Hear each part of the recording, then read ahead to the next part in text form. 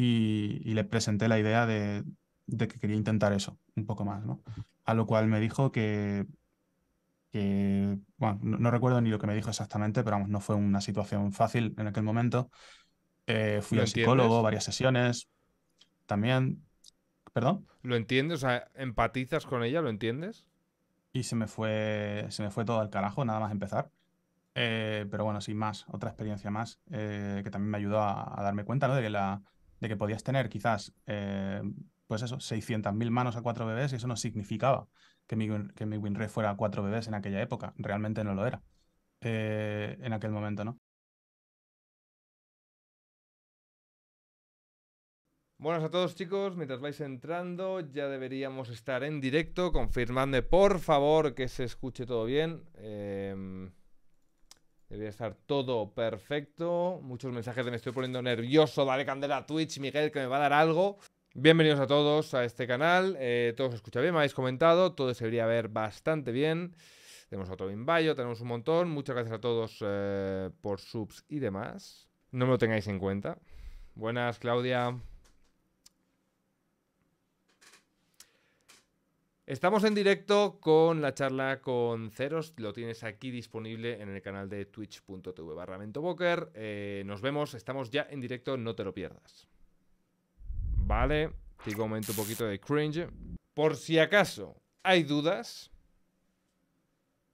no va a ser eh, una charla, ya sabéis que a mí siempre me gusta hacerlas muy ajenas al chat, porque quiero que quede lo más personal eh, posible y creo que es como mejor quedan, igual que he hecho pues con todo el mundo que he hecho en Twitch y luego se han subido a YouTube. Así que que os jodan a todos los del chat porque no os voy a leer nada. Así que esto pasa a ser un rincón mucho más privado en el que espero que vayáis a disfrutar. Eh, fuera coñas, gracias a todos chicos. Eh, vamos ya con la charla. Hoy tenemos la suerte de disfrutar de una charla con una persona que ha revolucionado la forma de transmitir lo que es el póker. Natural de Granada, con 33 años a su espalda, Elías Gutiérrez, alias Ceros, Rockstrato, lleva desde los 20 años en el mundo del póker.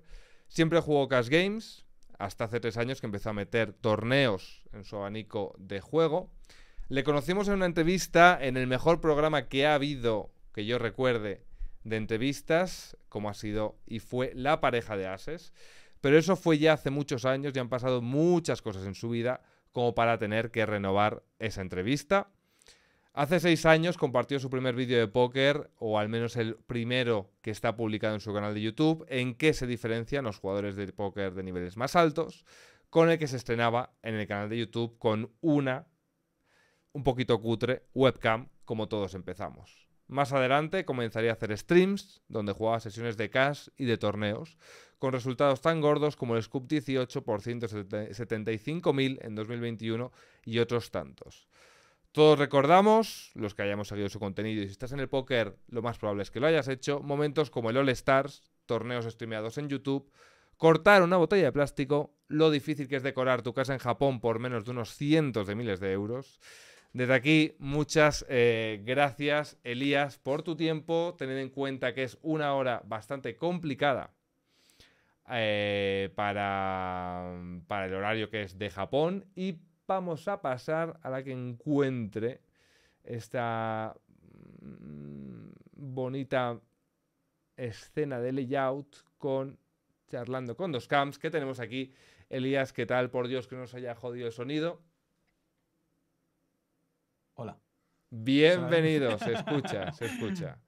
Se eh, escucha. un placer, tío. Un placer aquí contigo, después de esta pedazo de presentación que te has currado. ha quedado guapa, ¿verdad? Ha quedado guapa la, entrevista. Ni, me acordaba, tío, de lo de la entrevista de pareja de Ases. Y esa, hasta eso has encontrado. Bueno, he encontrado no, es que yo la consumí. No es que la haya encontrado, es que yo todos los viajes que tenía, eh, este es mi momento de gloria, em, todos los viajes que yo tenía a San Sebastián, que es en coche básicamente cuatro horas desde Madrid, tenía la pareja de ases en modo repeat. Es decir, la charla, sé que la charla con Codelsa, por ejemplo, fue en un hotel en el que Muke tenía peor wifi que Codelsa, sé que las charlas eh, con Santi Torres, que ya no, que se borraron muy rápido, que eran canela en, eh, canela en rama, Eh, o sea, es que me sé todas esas charlas y de hecho, cuando empecé a hacer charlas, en una charla que tú comentaste, de hecho, fue hace pues otros seis años más o menos, de Cutoff, eh, fue por eso, fue porque eso se acabó y yo era algo que disfrutaba mucho y dije, joder, veía yo Ingram entrevistando a gente y demás y digo, yo creo que puedo hacer algo decente y hasta aquí hemos llegado, hasta la charla casi número 50 contigo. Bienvenido, gracias por las horas. ¿Qué hora es ahora mismo en Japón? Eh, ahora mismo la, la, una y media de la mañana, pero no me va mal porque justo ahora mismo me estoy cambiando el, horario hacia adelante. Luego a, las 11 tengo que ir a al aeropuerto, de hecho, seguramente si me da la vida. Eh, y me mantengo despierto porque tengo que recoger a, un par de, compañeros que estoy montando ahora justo aquí una, oficina en Tokio y vienen justo hoy. Eh, así que hoy estoy de empalmado para poder reunirme con ellos por la mañana. Que tengo el horario un poco al, un poco al revés para variar, pero eh, me va perfecta la, hora esta, en verdad. Y llegamos, pues mira, pues me alegro. ¿Y esos compañeros son tema de edición de vídeo? ¿Se puede saber? ¿Es alguna sorpresa o...? No, no, no, no es ninguna sorpresa. Son, eh, primero que todo, la persona que me está ayudando últimamente más a temas de gestión, temas de, revisar los vídeos que vamos haciendo y de subirlos, de, incluso analizarlos y decirme, oye, eh, revisa esta mano con PioSolver, a ver si quieres meter alguna nota, cosas de este estilo. Eh, me ayuda a responder los comentarios de la escuela también. Y luego otra persona que se encarga de soporte. Eh, porque estas dos personas son las que en este momento más me están ayudando a, descargar trabajo y, me los estoy trayendo a Tokio a ver si trabajando juntos puedo delegar más cantidad de, tareas del día a día en ellos y, ver cómo nos organizamos, trabajando juntos en el mismo lugar, ¿no? Porque a veces trabajando en remoto, eh, que no sé si, en tu experiencia trabajarás mucho en remoto con, con tu equipo y tal, es cierto que en remoto a veces se pierde un poquito de, cosas que, trabajando cara a cara, al menos durante un tiempo, ¿sabes lo que te digo? Porque es temporal. he alquilado una oficina por tres meses y tal. Y el primer mes me voy a traer a, tres personas diferentes o a cuatro. Y luego a partir del segundo mes voy cambiando. Voy a ir trayendo a diferentes personas que trabajan conmigo en diferentes ámbitos y vamos a ir analizando pues todo lo que hacemos, a ver qué podemos hacer mejor. Eh, quizás seguramente voy a crear un, voy a crear como equipos de, edición diferentes para atacar proyectos diferentes. Esto es algo que es una idea que, que le vi a, a MrBeast, eh, que hablaba sobre cómo muchos youtubers están siempre atascados con el tema de contenido, eh, porque tienen solamente un equipo de edición y a veces tienen que atacar pues, varios proyectos a la vez, pero solamente tienen un equipo para hacerlo todo y cómo es, eso genera una especie de, pues, de estrangulamiento, ¿no? Que te impide mm, escalar. Cuello de botella eh, clásico para sacar... O sea, que es una productora. Efectivamente. Es una puta productora. O sea, literalmente es una productora. De sacar contenido, sacar contenido. O sea, es, una, es la profesionalización eh, en su máximo. Es un ejemplo, ¿eh? Es que es, una. Un pedazo de ejemplo. O sea, el Señor de los Anillos, y por ejemplo. mucho más de lo que. Sí, sí, O sea, el Señor de los Anillos, por ejemplo, se rodó con tres equipos diferentes, uno en Nueva Zelanda, uno en tal otro, y se comunicaban pues constantemente para poder llevar todo, porque salían películas, creo que cada año, películas que tienen una. De hecho, la gente lo que. Lo que menos valora, porque es lo que menos se ve, que es la producción, que es. Eh, la gente se imagina que productor es un tío gordo con un puro. Eh, pero un momento voy a quitar las. porque se escuchan las malditas alertas y se deben de escuchar altísimo. Yo no escucho nada. Ya deberían. Ya debería A mí no me llegan.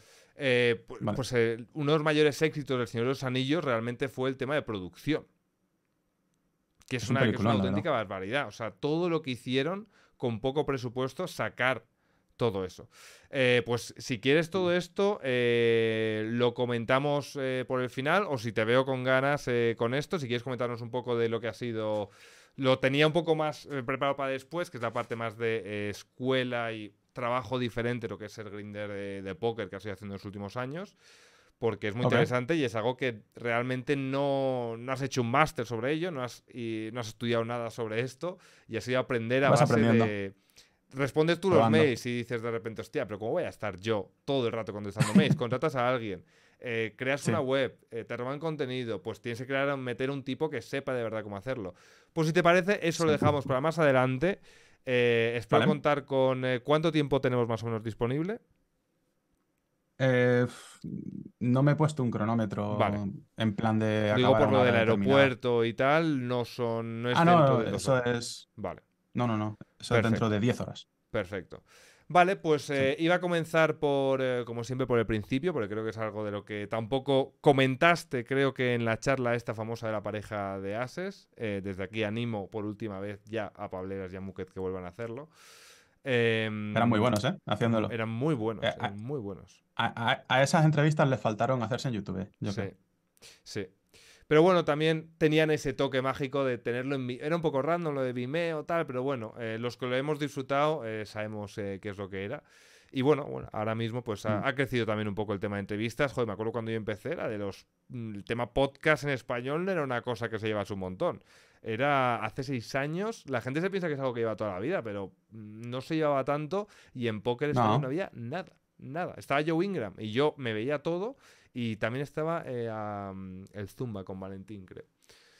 Pero eso es otra historia. Comenzamos, hemos Sí. eh, comentado que... mm, Podemos hablar que- también de ti, ¿eh? De tus comienzos. No, no, no, no, no. Son, son muy... Serán, imagino que al principio, muy similares. Vamos por la parte de Granada.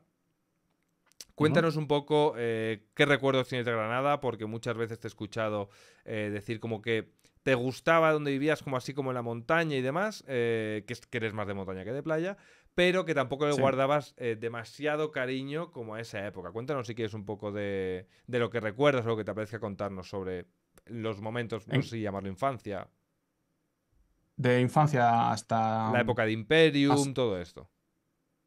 Mm, Vale. Eh, yo, yo nací en Granada. eh, mi, fa- mi familia, por parte de madre, es de Granada. eh, y nací allí. Pero des- desde, lo, desde que tenía un año o dos hasta los ocho, realmente vivir, vivir, vivía en Málaga, en un pueblo que se llama Ronda, o ciudad. no sé si es pueblo o ciudad, a la verdad. Viví muy de pequeño allí.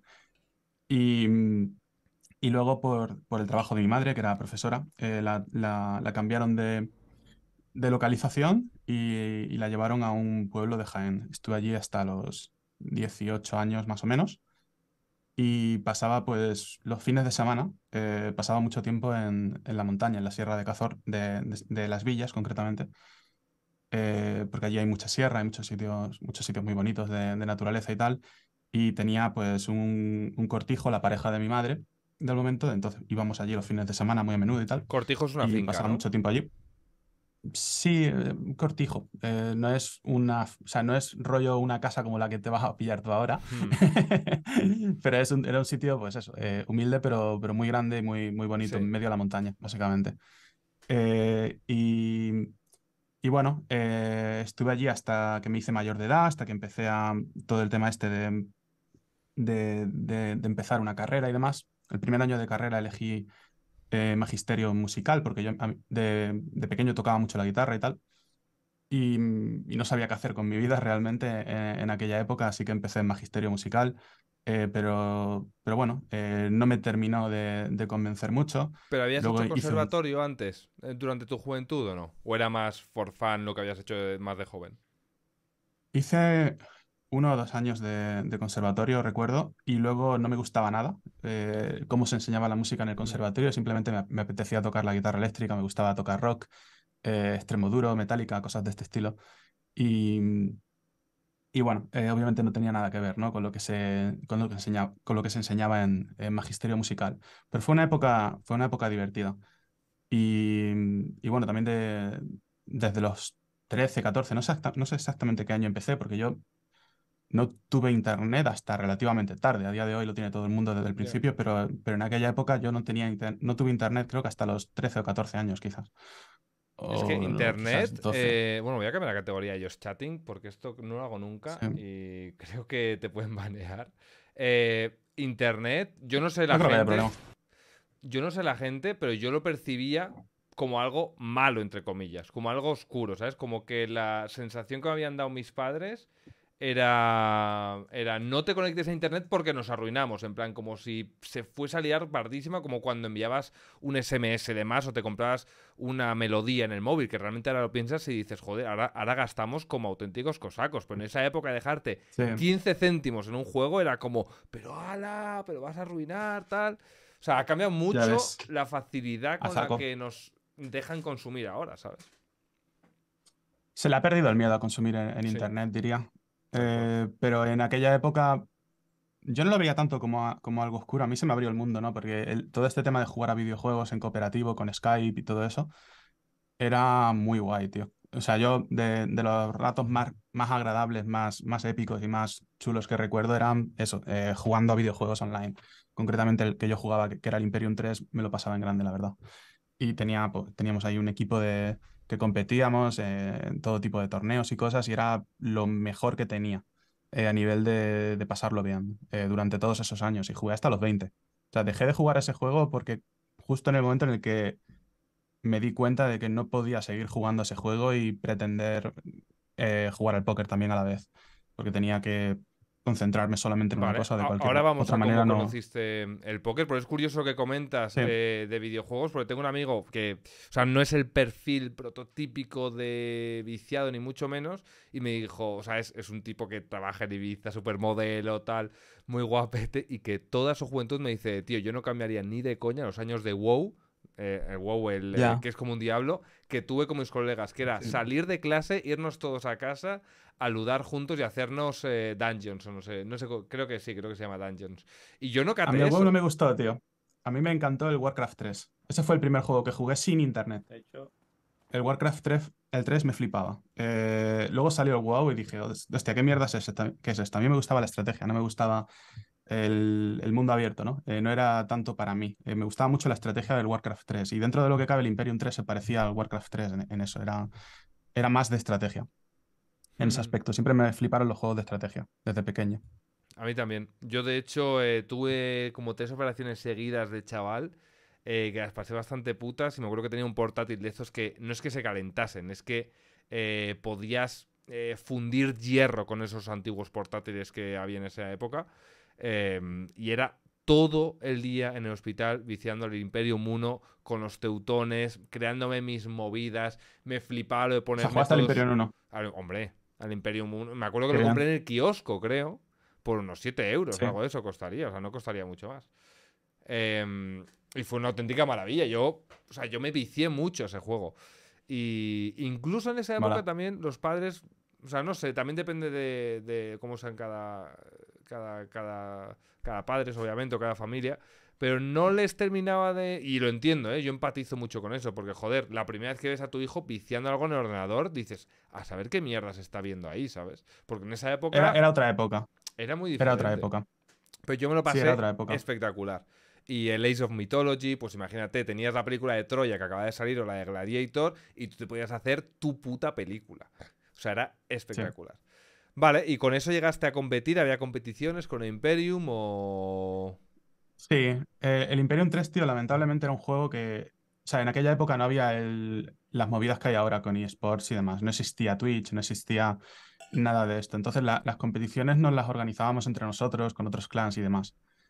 Y, básicamente pues éramos como un gran grupo de, de personas. Eh, el Imperium 3 concretamente tenía gente de, España y de Italia, eh, sobre todo. No sé si de algún país más, pero creo que eran estos dos mayormente.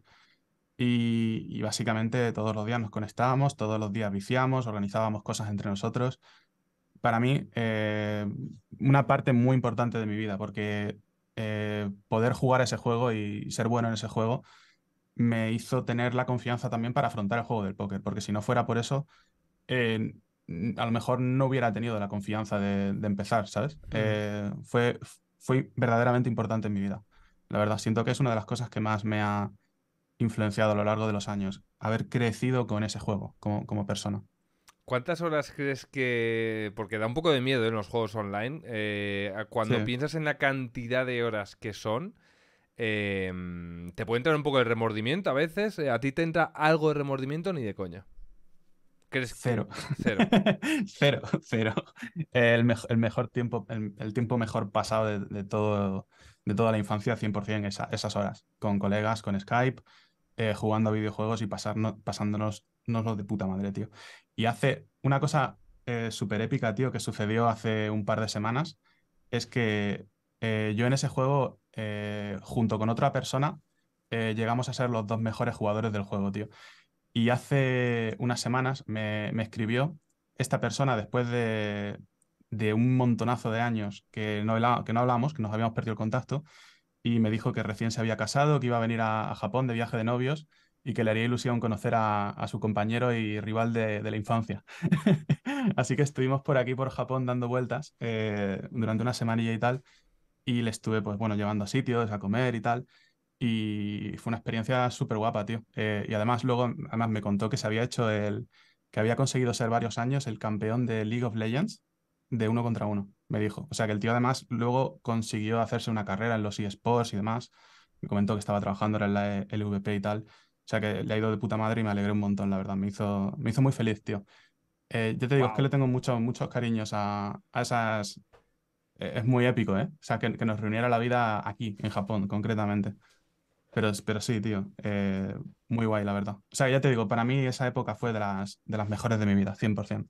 Me, me hizo hasta cierto punto construirme eh, como persona, ¿no? Me, dio confianza en mí mismo también para, para, para afrontar otras cosas en la vida más adelante, como el póker, como quizás crear, crear una, un equipo de personas con el que trabajo y demás, porque ya de pequeño, pues teniendo esa experiencia de, de estar jugando en cooperativo con otras personas y demás, y un poco como dirigiendo, ¿no? Que las competiciones que hacíamos y todo eso, parece que no, pero es un pequeño entrenamiento luego para la vida real más adelante. Un poquito de ello, más o menos. Por lo menos un poquito. Siento que... Te obliga mucho ¿Sí? a abstraerte, a abstraer ideas. Yo creo que es algo que pasa mucho en el póker, que es, vale, eh, chequeo aquí, te imaginas las branches, las ramas del árbol, y dices chequeo para poder Sí. pagar prove más barrel, pues, como que te obliga a, a no centrarte solo en lo que tienes delante, en la acción que tienes delante, sino decir, oye, que igual, si, si finjo, es que no sé cómo, no, me no sé cómo se jugaría en competitivo, ¿sabes? Pero si finjo Sí. en esta parte que no hay niebla, que estoy construyendo una muralla para que ataque por aquí, pero realmente hay una trampa, yo qué sé.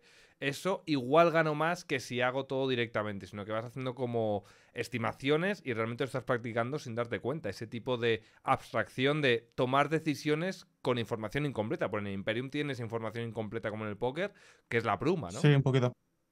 Efectivamente, la- el mapa no estaba al descubierto y hasta cierto punto tú nunca sabías exactamente dónde estaba el otro, pero sí que podías hacer muchas cosas para descubrir un poco el mapa. O si hay una mina, quizás- o si hay lo que sea, dices, pues igual está aquí que hay una mina de oro. Entonces, eso se Era- por ejemplo. obtención de recursos y todo eso, y, y es sobre todo resolución de problemas. ¿Qué es la vida si no es un... ¿Qué, qué es la vida si no es resolver problemas uno detrás Mm. de otro, ¿no? Eh, Se te plantea una situación y si tú estás eh, bien entrenado en términos generales, tendrás las herramientas para resolver esa situación y llegar a una, a una decisión, pues lo, mejor que puedas, ¿no?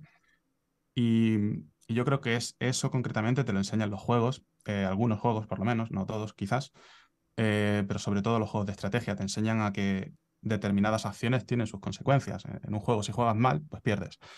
En la vida, si tomas malas decisiones, pues te irá mal en la vida. Si tomas buenas decisiones, es más fácil que te vaya bien en la vida, ¿no?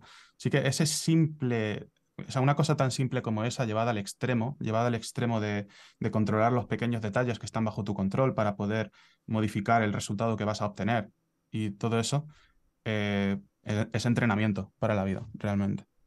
O sea, por eso tengo una muy buena opinión de, de- al menos de algunos juegos, eh, no de todos, ¿no? Y el chico este con el que con el que competías que te reuniste en, en Japón eh, es conocido, o sea, puede- o sea, yo no es que siga mucho League of Legends, em, pero ah, bueno, no, no, no le voy a conocer, o sea, conozco a Ocelote y poco más, pero es conocido Mm, o... yo- Yo League of, o sea, yo League of Legends no lo he seguido nada en los últimos años. O sea, lo- vamos, nunca. Eh, eh, pero vamos, yo llegué a jugar un poco a, a las... ver- porque no sé si lo sabes, pero Warcraft 3, habi- eh, el League of. Legends y...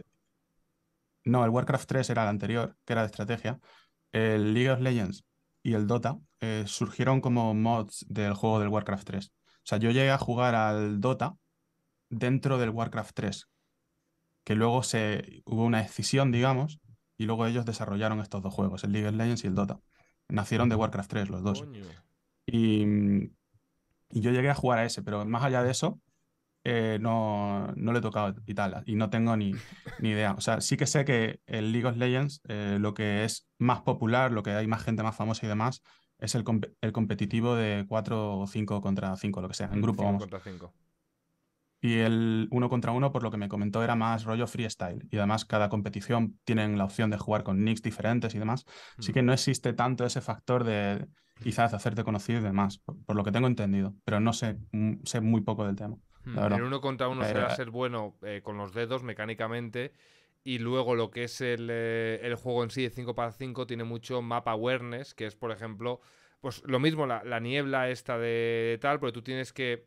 O sea, bueno, no vamos a hablar de esto, pero básicamente hay un montón de movimientos que tú puedes intuir y tú puedes ir poniendo de alguna manera eh, formas de ver por dónde se mueve el otro equipo para tú tomar la mejor decisión. O fingir que vas para un lado, o a flanquear y demás. Es que es, es muy militar todo realmente, lo del Imperium, lo del LOL, lo de tal. Em, que cualquier un poco conspiranoico podría decir, hostia, están nos están entrenando para cuando venga la guerra de los drones de verdad. La guerra de los drones auténticamente, no de los clones de los drones. Eh, ¿A ti te parece que hoy en día no, tienes hijos, pero eh, te puedes imaginar un poco la cantidad de tiempo que hoy en día pasan los chavales eh, online, eh, ya sea con juegos como League of Legends, como bueno, cualquier otro, ¿no? El Valorant, el tal. ¿Te parece que pueden llegar a arrepentirse en algún momento? ¿O tú crees que, bueno, te no te sesgo? Creo que es importante que vivan todo tipo de experiencias, pero o sea, no, yo como todavía no tengo hijos, no he hecho un proceso en el que me pare a pensar exactamente de, qué forma tiene más o menos sentido eh, que un niño sea educado con lo que hay hoy en día. Eh, pero sí que creo que seguramente algunos videojuegos puedan llegar a sumar a la experiencia de ser crío eh, y no solamente sumar a la experiencia de, hacer feliz al crío, sino además de que entrené para la vida. O sea, yo, por ejemplo, a mí, si, yo tuviera hijos en el futuro, no a mí me haría ilusión que jugaran al ajedrez y que lo disfrutaran, por ejemplo, porque siento que nunca les va a hacer daño eso, que siento que les va a, sumar en la vida eh, aprender a jugar al ajedrez bien, por ponerte un ejemplo. Eh, pero, por ejemplo, también te digo, si hablamos de juegos que a día de hoy están construidos para que te gastes el dinero en ellos, que si cajas que te tocan porque ahora eh, la mayor parte de los juegos están intentando eh, meter un poco movidas de casino dentro del propio juego, ¿no? Y eso no es como el póker en el que si te haces bueno puedes llegar a ganar, no, no. Es creo rollo... Que han, creo que han eh, reculado un poco con eso, ¿eh? Con las loot boxes. Creo que lo han movido un poco más. No lo sé. Que no sea paper, paper win. Te corto simplemente con esto, pero justo vi una charla el otro día que hablaban de esto, que han como reconducido a que sea más tema skins, pero que la experiencia de juego sea la misma. Creo. Yo, por ejemplo, con eso no estoy de acuerdo. No me. Eh, o sea, em, o sea, perfecto lo que me comentas, ojalá sea así, eh, no lo sé, pero con ese tipo de juegos que pretenden eso, por ejemplo, yo no estaría de acuerdo con que, mi, con que un, hijo o hija mío eh, quisiera, o sea, o, debiera jugar a un juego en el que la tarjeta de crédito es parte del proceso. Pienso que no, o sea, pienso que necesitas un poco más de de edad para, para, que te metan ese tipo de movidas en, eh, delante de los ojos, digamos. Y, ya te digo, eh, entiendo el deseo de, de, las grandes compañías de videojuegos de ganar dinero, pero cuando están metiendo elementos de tema casino y demás a los niños, a mí eso, por ejemplo, no me gusta. Pero eh, sí que a la vez creo que hay muchos videojuegos que pueden aportarle mucho a, a una persona y, creo que seguramente ya estén entrando también regulaciones y cosas de este estilo, porque seguramente sea un tema que se ha ido de madre, la verdad, pero no estoy seguro. Eh, porque es lo que te digo, no he, hecho un proceso tampoco todavía eh, de analizar lo que hay o de analizar lo que le gusta a mis hijos, porque aún no los tengo, eh, como para decidir si tiene o no tiene sentido. Yo creo que si, que si eres padre en algún momento lo que tendrá sentido es que conozcas, ¿sabes? Que te preocupes de conocer, porque tampoco quieres ser el tipo de padre eh, que deniega, solo te digo que eres un castigador, que no permites a tu hijo que haga algo por miedo, porque tienes miedo de que habrá dentro. Yo creo que a... lo mejor no tienes tiempo. Yo creo que eso va a cambiar bastante porque al final mm. creo que va a ser la primera vez que se junte que el padre tiene el mismo hobby que el hijo. O ¿Sabes? En plan, porque eh, yo dentro de 10 años igual me estoy echando un FIFA con mi hijo. Si tengo un hijo, ¿sabes? ¿Sabes lo que te quiero decir? O sea, al final... Eh, yo es bonito imaginarlo, ¿verdad? Igual, igual dentro de 20 años tenemos a abuelos viciando al LOL en Twitch o la plataforma sucedánea que sea, ¿sabes? Me cago en tu puta madre. Si se han con el LOL, podría ser. Por eso te digo que al final, o sea, vamos a tener, o sea, yo creo que vamos a tener, pues es que lo estamos viendo nacer, pero dentro de 30, o sea, Jordi Wild, pues siga, a ver, tiene 40 años, pero, em, bueno, no sé si llega a los 40, igual tiene 35 o algo de eso, pero dentro de 15 años vamos a empezar a ver a youtubers más canosos. O sea, vamos a empezar a tener. Eh, porque nosotros hemos evolucionado con ellos. Y la audiencia, como yo, va a querer. Yo tengo canas a tope ya, ¿eh? Pero es que yo tengo ya 30 años, tú tienes 33 años, eh, yo qué sé, eh, hay contenido que yo veo de Twitch y tal que a mí no me mola una mierda porque veo que ya es muy de niños. Y es para gente de 20 años. Pero no me interesa, yo quiero también hablar a, yo qué sé, Rayo es un influencer. Juan Ramón Rayo es un, es un youtuber, o sea, tiene no sé si 500.000 seguidores, sube vídeos diarios. Eh, se está viendo un cambio bastante chulo, yo creo, y es que la gente ha dejado de, de de decidir qué es lo que me ponen, pongo la tele y lo que haya, pues es lo que me toca ver. Al principio era un canal, luego fueron 10, luego 20, podías elegir, y ahora ya tú eliges quién te lo cuenta. Cuéntanos algún eh, creador de contenido que te flipe, por ejemplo, que sea que, consumas a diario. Eh, o sea, hay mucha gente que consumo a diario, eh, pero lo que también tengo es muchas épocas en las que a lo mejor durante una serie de meses me da por algo y luego hay otra serie de meses que, cambio completamente de rollo y estoy viendo otra cosa. Si me preguntas ahora mismo, en los últimos, en el último año, de, lo que más he visto, de hecho, ha sido ajedrez.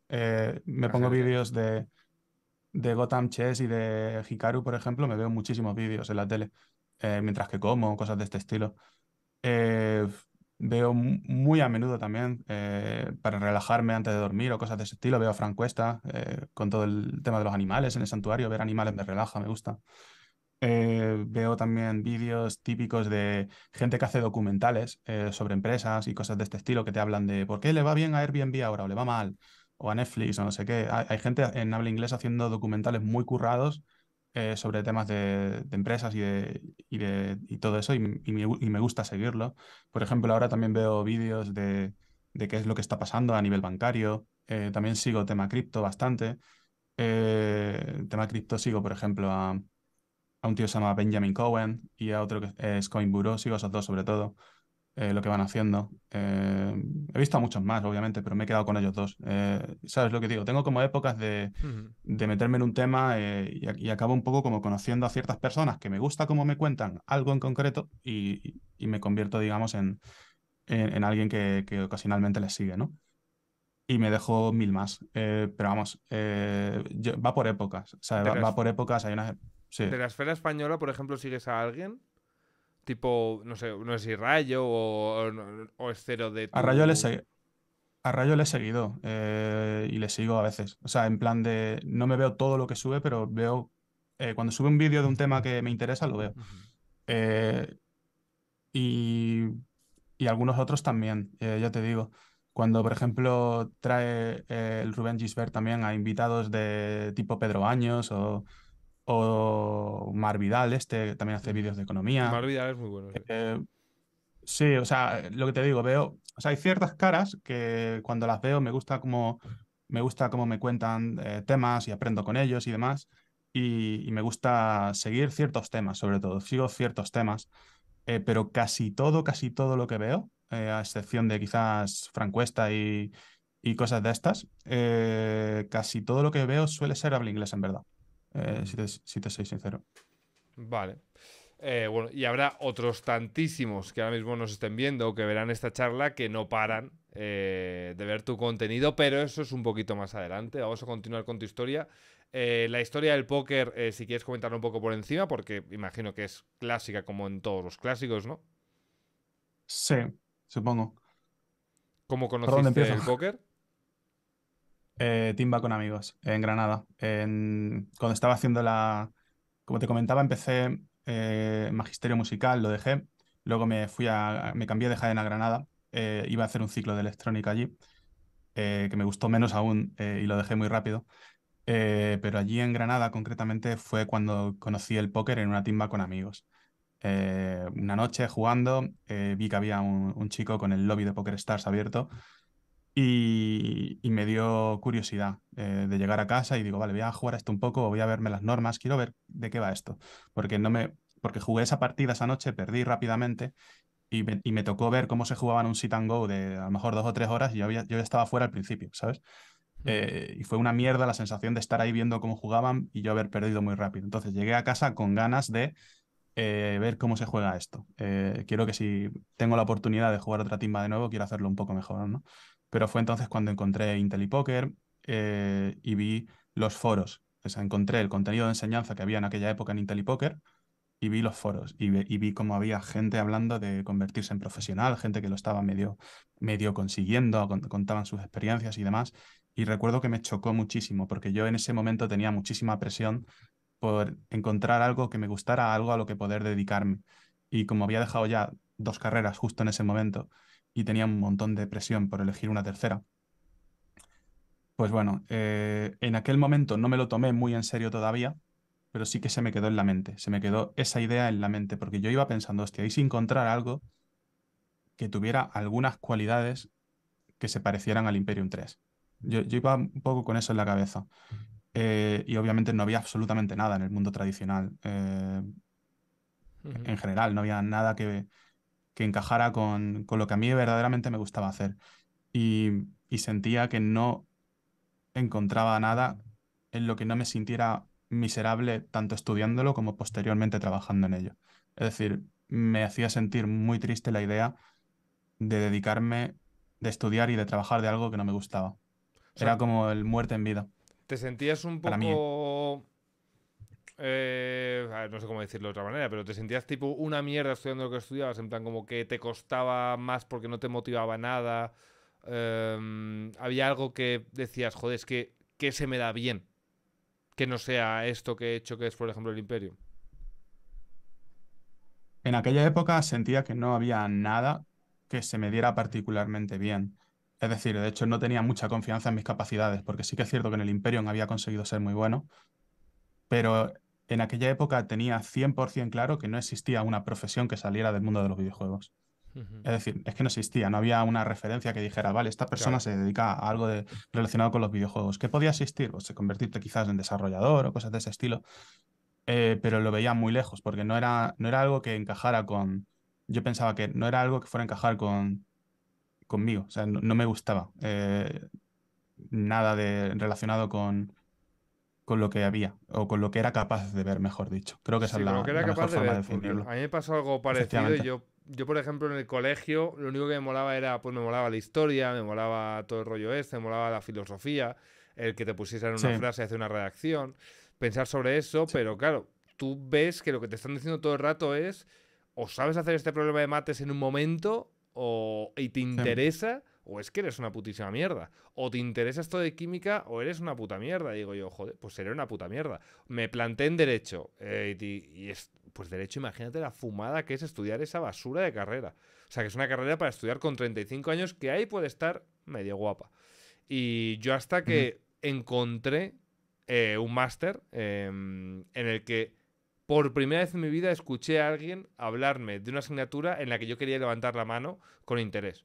Que era todo el tema, pues tema o venta, eh, cómo llevar empresas, Mm. todo esto. Ver casos, porque eh, se fomenta mucho en los másters buenos.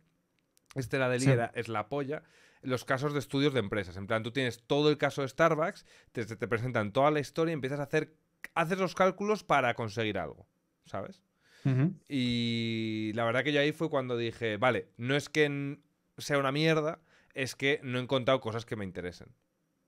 Y, y es, y es bastante similar, yo creo que el hecho de que en el colegio no te muestren em,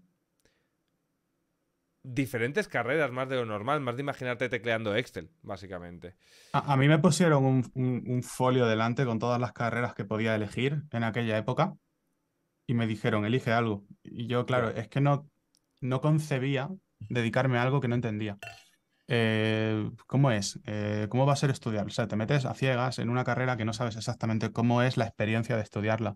a mí eso es lo que, lo que me faltó, un acercamiento a diferentes opciones eh, de trabajo de vida, diría, para por lo menos conocer mínimamente si me interesaba, si me iba a llenar de alguna manera. Ya te digo, fue muchísima presión. esa sensación de desconocimiento, esa sensación de estar en- un poco en manos de, eh, de no tener el control. Eh, era, es- esa época fue dura eh, en, esas, en ese sentido. Y ya te digo, eh, Y te mina la vale, confianza mucho en ti mismo. Dices, hostia, mu- mm, muchísimo. ¿sirvo para algo que no sea una cosa muy automática? Este es que te mina completamente. Yo, yo tenía muy poca confianza en mí mismo. Por eso te decía que el Imperium fue, 3 fue muy importante para mí, tío. Porque solo porque fui bueno en ese juego, sabía que a lo mejor valía para algo. Porque si no fuera por eso, no tenía nada que, a lo que agarrarme, eh, realmente. No sé qué hubiera sido de mi vida, te lo digo en serio. Es solo porque tenía ese punto de orgullo, ese punto de decir "Ah, hasta, has- hasta aquí valgo, que cuando vi el póker y vi gente compitiendo o tratando de competir por crear de eso una profesión, que dije, a este palo me agarro, eh, porque Fue como un videojuego del que eh, poder sacar dinero, ¿no? El póker. lo vi exactamente así. Y, y- y de hecho, cuando empecé en el póker, ni siquiera me gustó tanto eh, como lo que era jugar al Imperium 3. Decía, vale, a ver, este juego me gusta menos, pero es que en el- del Imperium 3 no voy a vivir y no voy a hacer nada. Entonces empecé a jugar al póker, ya te digo, sin tener muchas expectativas. Simplemente estaba pensando, vale, voy a conocer esto un poco más a fondo. Como ¿no? hay que empezar, yo creo, en el póker.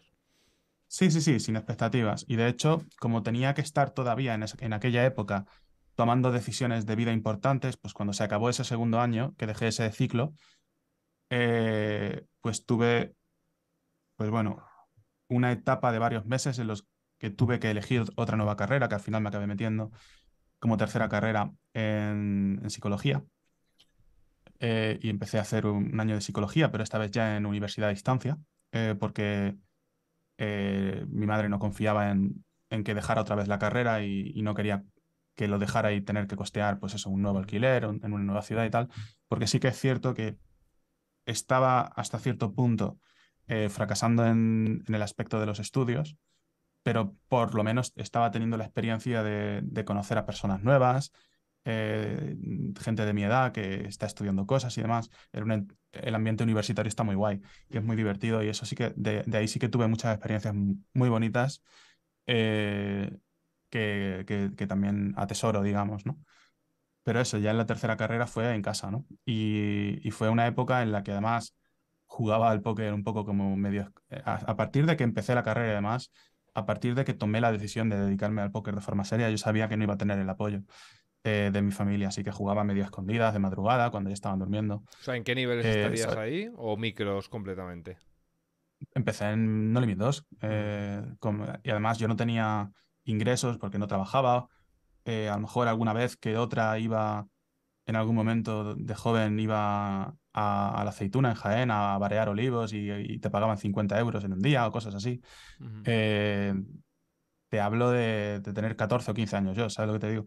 Eh, y a lo mejor pues con eso ibas tirando un poco, pero vamos, vivía muy humildemente. Eh, no tenía, no me daban dinero si lo pedía y si pedía dinero para el póker me iban a mandar a la mierda, como era natural. Así que no sé ni cómo lo hice, pero con depósitos de igual 10, 20 euros, no sé de qué manera fue.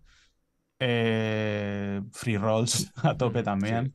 Cualquier, free- cualquier free roll que hubiera, eh, cualquier cosa de esas. Y teniendo muchísimo cuidado con los pocos céntimos que tenía depositados de tratar de, de- de estirarlos, de, ¿sabes lo que te digo? Eh, al principio recuerdo que jugaba mucho doble o nada, los sit and goes estos que había al principio Sí. eran doble o nada, que ya no existen, porque sentía que era una forma mucho más sencilla de, de no perder dinero fácilmente.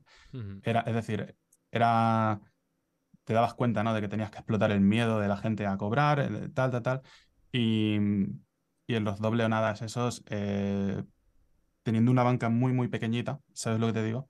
Era una forma medio de aguantarla más mientras que estaba aprendiendo y tratar de construir una banca, ¿no? Con eso, ¿no?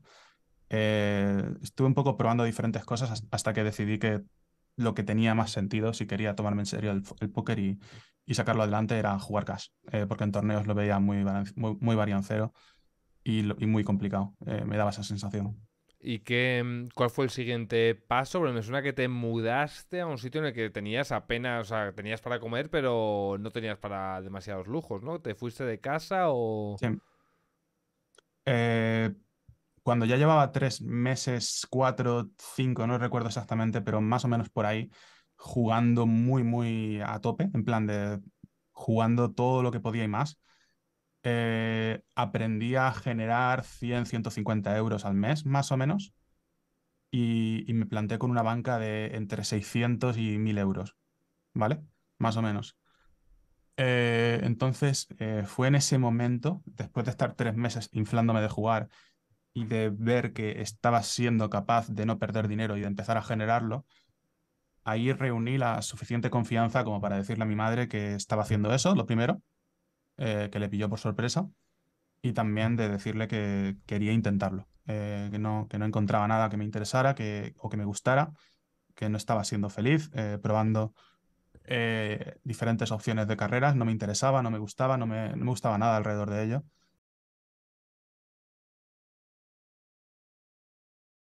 y, le presenté la idea de, que quería intentar eso un poco más, ¿no?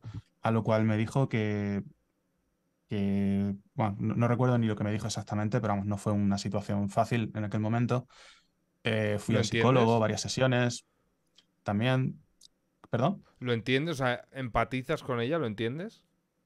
Lo entiendo, sí, lo entiendo. Eh, y además ya pues eh, ha pasado mucho el tiempo y yo eh, no, guardo nada eh, ya de, en relación a ese tema, lo, lo, entiendo completamente. Yo habría hecho lo mismo, ¿eh? pues Si mi hijo me viene, o sea, tú ponte en la situación, te viene tu hijo que se ha cambiado tres veces de carrera, que se ha viciado un mazo a un videojuego, te dice, mamá, voy a jugar al póker, he reunido 900 euros. Y tu madre, que sabe de lo que va la vida, dice, ay, hijo de mi vida. Otro que le ha tocado la lotería y que se cree que, bueno, o aunque supiese que el póker, que no lo sabía obviamente, era algo de lo que se podía profesionalizar, yo digo a mi hijo, mira, haz lo que te salga los cojones, pero sácate una carrera para que no te estés pidiendo en la calle más adelante.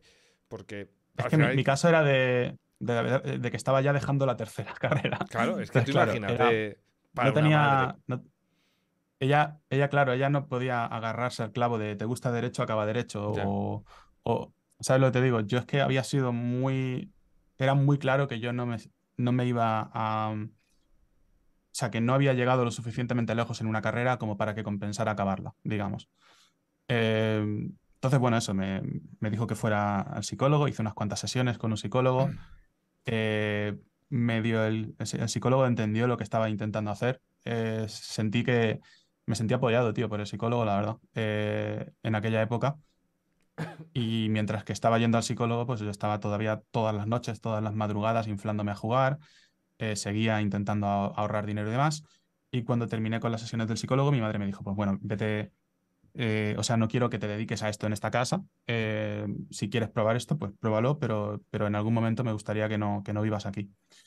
Y, llegamos un poco al acuerdo de que me diera un mes o dos meses más, creo que fueron dos meses más o así, desde ese punto, para que a mí me diera tiempo a ahorrar un poco más y en ese momento irme, ¿no? Y, fue entonces cuando encontré compañeros de, instituto, de diferentes mayores o menores, eh, o de la misma edad que yo, encontré un grupo de, de tres, cuatro personas eh, que iban a, Granada a estudiar o a trabajar y, me pude unir a una habitación, ¿no? En plan de vivir cuatro juntos, eh, pagaba 230 euros de alquiler al mes entre cuatro la casa a lo mejor costaba 800 o, algo de ese estilo. Era una casa, la, típica casa grande de abuela eh, que alquilan, ¿sabes lo que te digo? Mm.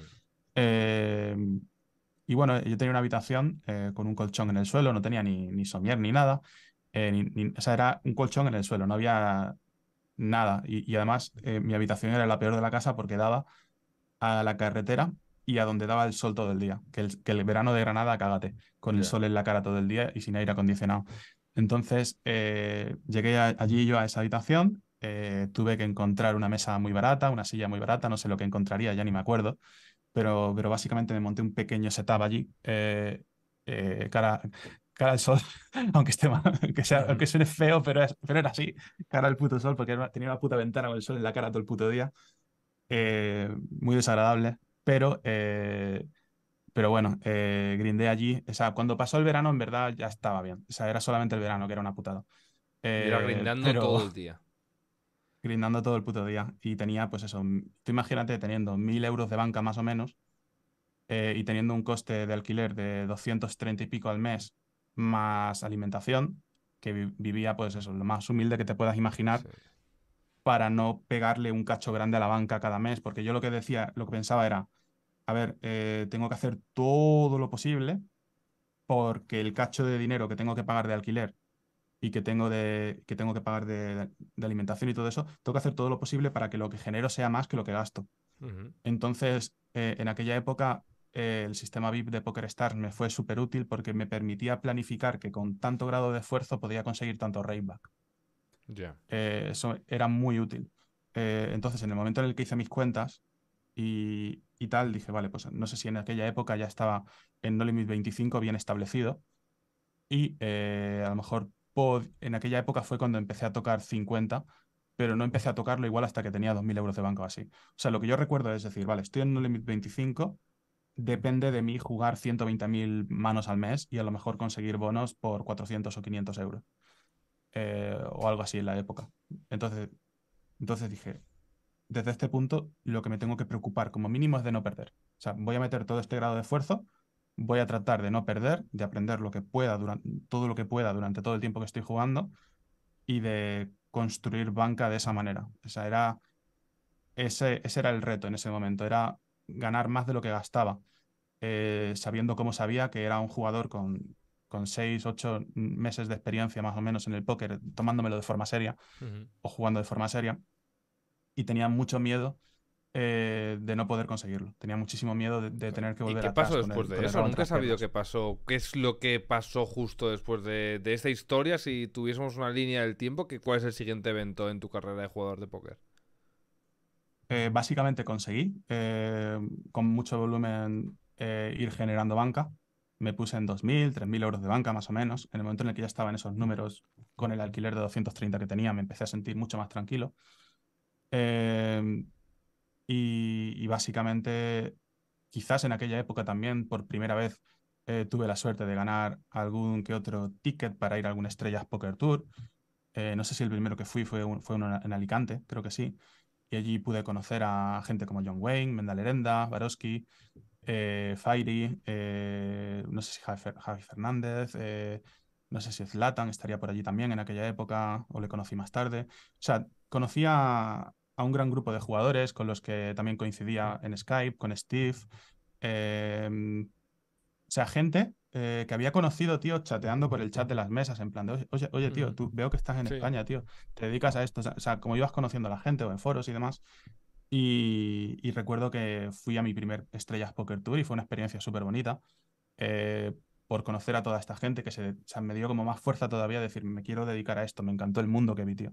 Me encantó la sensación que tuve cuando vi a toda esta gente jugando el, el Estrellas de Alicante, la, los relajados que estaban, tío. Había no sé quién, se había pinchado un torneo por 60.000. Hostia, qué, qué pasada, tío. ¿Te imaginas tener 60.000 pavos? Era, era ese rollo, tío. Sí, parece que eres Eh, inmortal con 60.000 euros. Dices, en- cada en que tenga banca de 10.000 ya es imbusteable. no sé quién había sido, pero había, no sé si era, que, o sea, bueno, no sé, pero vamos, eh, esta gente era, eran como, como dioses, ¿sabes? Lo que, lo que estaban haciendo era absolutamente increíble, ¿no? Se estaban dedicando a algo como, como el póker. Yo lo que me he dado cuenta del póker es que mm, en los eventos sociales nunca se ve la cara mala. ¿Sabes lo que te quiero decir? Es como. No es que la cara mala. Como que la gente no se atreve a decir, no, no me quiero dejar 100 euros en esta comida. ¿Sabes? ¿Cuántas veces has escuchado a un jugador de póker decir, no, no quiero pagar 100 pavos por esta comida? Es imposible, no, no, es, es- una quimera, no, no existe. Porque la gente es. eh, porque se lleva mucho en el póker el rollo eh, bowler, valer, ¿no? En plan de, venga, sí, vamos a este restaurante, vamos a este tal. Joder, y habrá gente que le cueste la hostia dejarse una cena ciento y pico pavos, ¿sabes? O irse a un reservado de tal. Y en estos eventos de póker, yo creo que la gente bustea igual eh, la mitad de la banca y, le da igual, que es bastante curioso, ¿no? No lo digo tipo criticando ni nada, yo también lo he hecho, o sea, yo mis primeros 10k de banca me gasté 700 en ir a un torneo, a unas Golden, o a un Estrellas, o un tal, y te parece tan normal. Y luego te vas de comida y te acabas de pegar un 10% de tu banca. A ver, a, nivel de gestión de banca es horrible hacer eso, pero eh, eso es absolutamente horrible hacer eso. Es lo peor que puedes hacer para tu carrera en el póker, gastar tanto de tu dinero, tanto de tu dinero. Pero sí que es cierto, tío, que cuando no conoces a nadie, o hmm. cuando conoces a gente online y por primera vez los conoces en vivo, también eso te da una motivación muy grande para luego volver a tu casa y decir, yo quiero dedicarme a lo que se dedica esta gente, yo quiero, yo quiero ser parte de esto. Y aparte de eso, eh, Stars ya en aquella época también era muy guay, tío. Llegabas a las estrellas, te regalaban tu mochila de las estrellas con un montón de cosas, te hacían sentir un VIP, tío. Eh, quiero decir, era un chaval de 20 años en, que no estaba acostumbrado a eso, en absoluto. No estaba acostumbrado a, a sentirme parte de algo que se sentía tan especial, tío.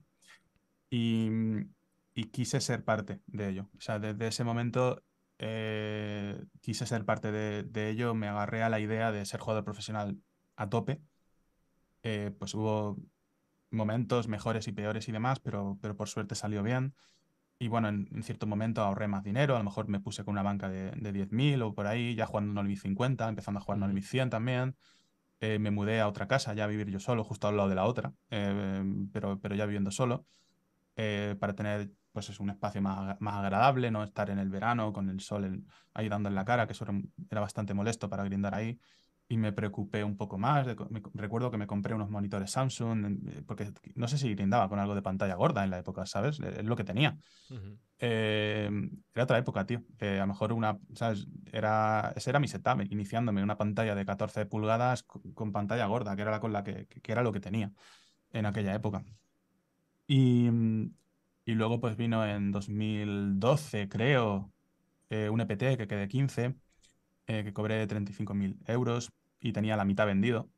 ¿Y te sacaste la entrada o un satélite, algo de eso, ¿no? ¿O la satélite. Satélite. Satélite. Sí, sí. O sea, entrada de torneos no me las podía costear con la banca que yo tenía. Pero sí que metía de vez en cuando la, el típico satélite de los domingos eh, a ver si podía ir a algún torneo, ¿no? Y, y, fui, pues eso, a dos o tres estrellas y al EPT de Barcelona. Luego una vez fui a un EPT de Praga también. Em, y ya eh, después del EPT de Praga decidí darle un parón al tema de los gastos porque me di cuenta de que se me estaba yendo la olla con los gastos es que, viajar para un torneo de póker porque además ni siquiera es que fuera una persona que fuera profesional de torneos. Yo era un jugador de cash que me gustaba mucho irme a jugar un EPT, pero no era por el aspecto del torneo en sí, que también, sino sobre todo por el aspecto social. Eh, y me di cuenta de que si quería eh, ser bueno en cash era muy importante eh, que dejara de meterle esos bocados a la banca de los viajes y aparte de eso, eh, que me centrara, porque cuando te vas dos semanas a jugar un torneo, no sé dónde tal, vuelves, pues tienes un periodo de, adaptación en el que tienes un poco como que entrar en calor de vuelta y, pierdes el hilo un poco ¿no? de dónde estabas. Es mejor realmente tener mucha estabilidad cuando estás tratando de dedicarte a, al póker, al menos a una modalidad concreta, ¿no? Y, no ha sido hasta hace cuatro años que he vuelto a jugar torneos eh, otra vez, pero vamos. Eh, eso. Eh, los torneos durante los primeros tres, cuatro años de mi carrera, pues eran algo que me gustaba hacer. Mm, para ser jugador de cash, sí, tuve algunas experiencias buenas. Por ejemplo, tuve un coach con cejas, que, me, que tuve un, un bancaje con él, cobré en un torneo en un Sunday 500, creo que fue, cobré creo que 60.000 o algo así, eh, con él, eh, y no sé si le pagué la mitad de eso o, algo de ese estilo porque me estaba cocheando a cambio. Y fue una buena experiencia, la verdad. Cejas me, me ayudó mucho en aquella época a entender, eh, a, ser menos leveleado, digamos, porque era un, un, tío que, era, que medía muy bien, me acuerdo que medía muy bien el tema de no pases de aquí porque te estás pasando de, de, estás cometiendo errores aquí de esta manera o de esta otra.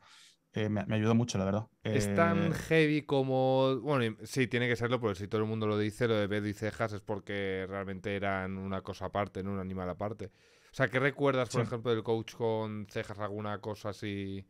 Bueno, Cejas, tenéis una charla también, eh, que justamente por eso se hacen estas charlas, para que las nuevas generaciones se acuerden de quién eran los Big Daddies. a ver si algún día caerá de Bedo y ya con eso ya tendría un lacito en todo. ¿Qué recuerdas? que fue hace muchísimos años esto, ¿eh? Esto fue hace 11 años, así que mis recuerdos están un poco borrosos, pero la sensación general es que me ayudó a ser más sólido. Eh, me ayudó a entender mejor eh, situaciones en las que quizás eh, o pagaba de más o apostaba de más. me ayudó a, medir mejor lo que estaba haciendo. Es decir, a jugar más relajado, digamos, a tener un estilo de juego más, más tranquilo y un poco más sólido. Y, esas enseñanzas me, fueron bastante útiles. y luego, después de que ese coach acabara y que yo volviera a continuar jugando CAS, eh, porque eso fue en una época que él quería poner a jugadores de CAS a jugar torneos porque consideraba que la gente de torneos estaba un poco más loca de la cuenta y que la gente de CAS medía mejor. Entonces se quiso crear un establo para, explotar eso, ¿no? Eh, cuando terminó esa experiencia, pues ya volví a, CAS. Eh, recuerdo, pues eso, lo que ¿Seguías en Granada? Praga.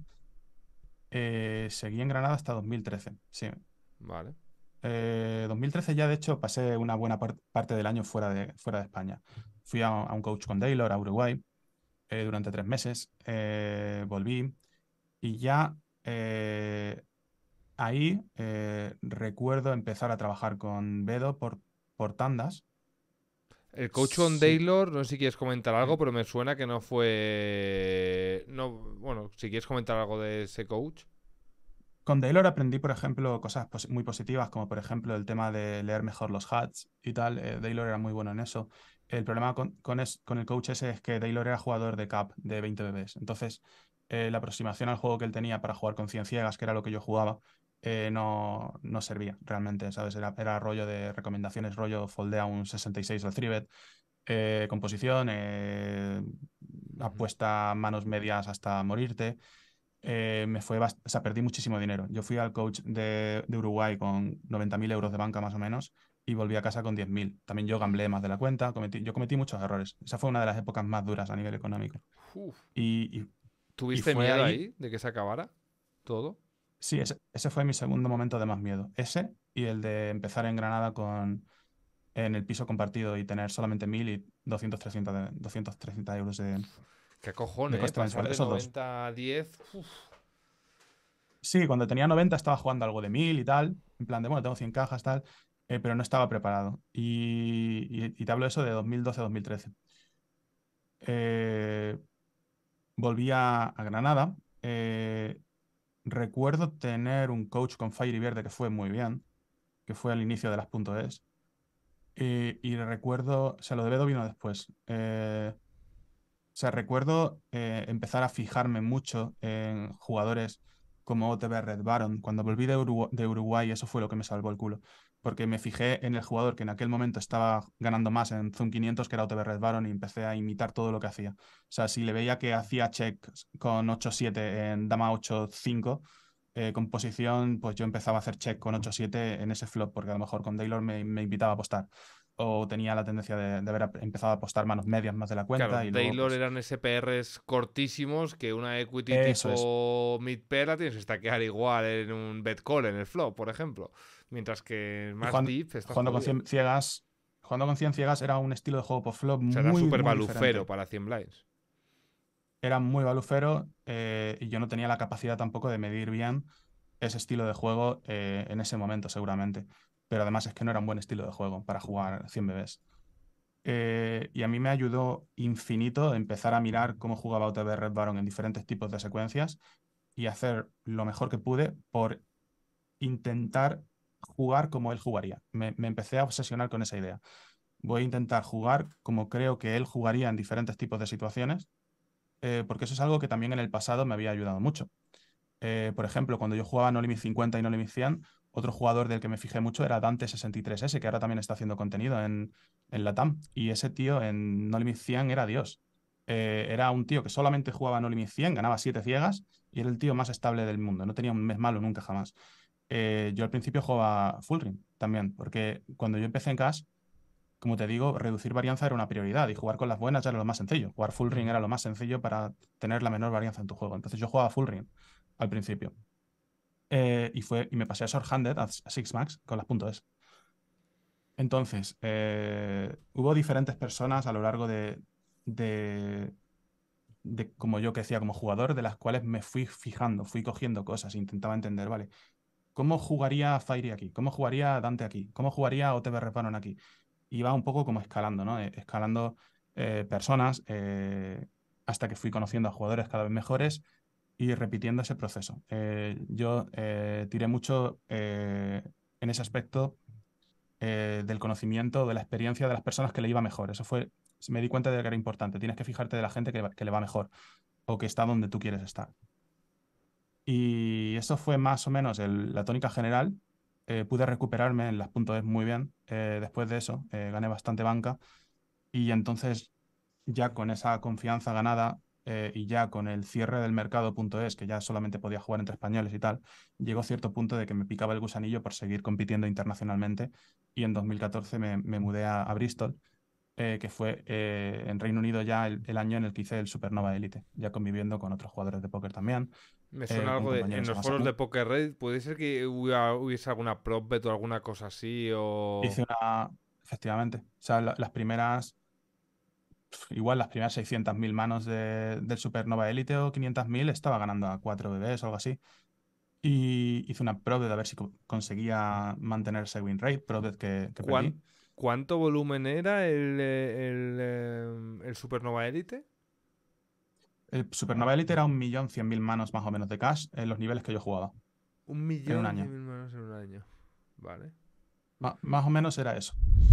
Y, bueno, pude completar el Supernova Elite. Eh, estuvo muy guay eh, conseguir eso porque los partidos de Poker Stars tenían, tenían mucho, mucho appealing ¿no? Eh, en aquella época eh, y, llegar a ese estatus máximo. Un segundo, perdona, que más porque está sonando. ¿Sí? La alerta, me cago en la puta. a ver, si están pausadas todas, no lo entiendo, macho. Eh, eh.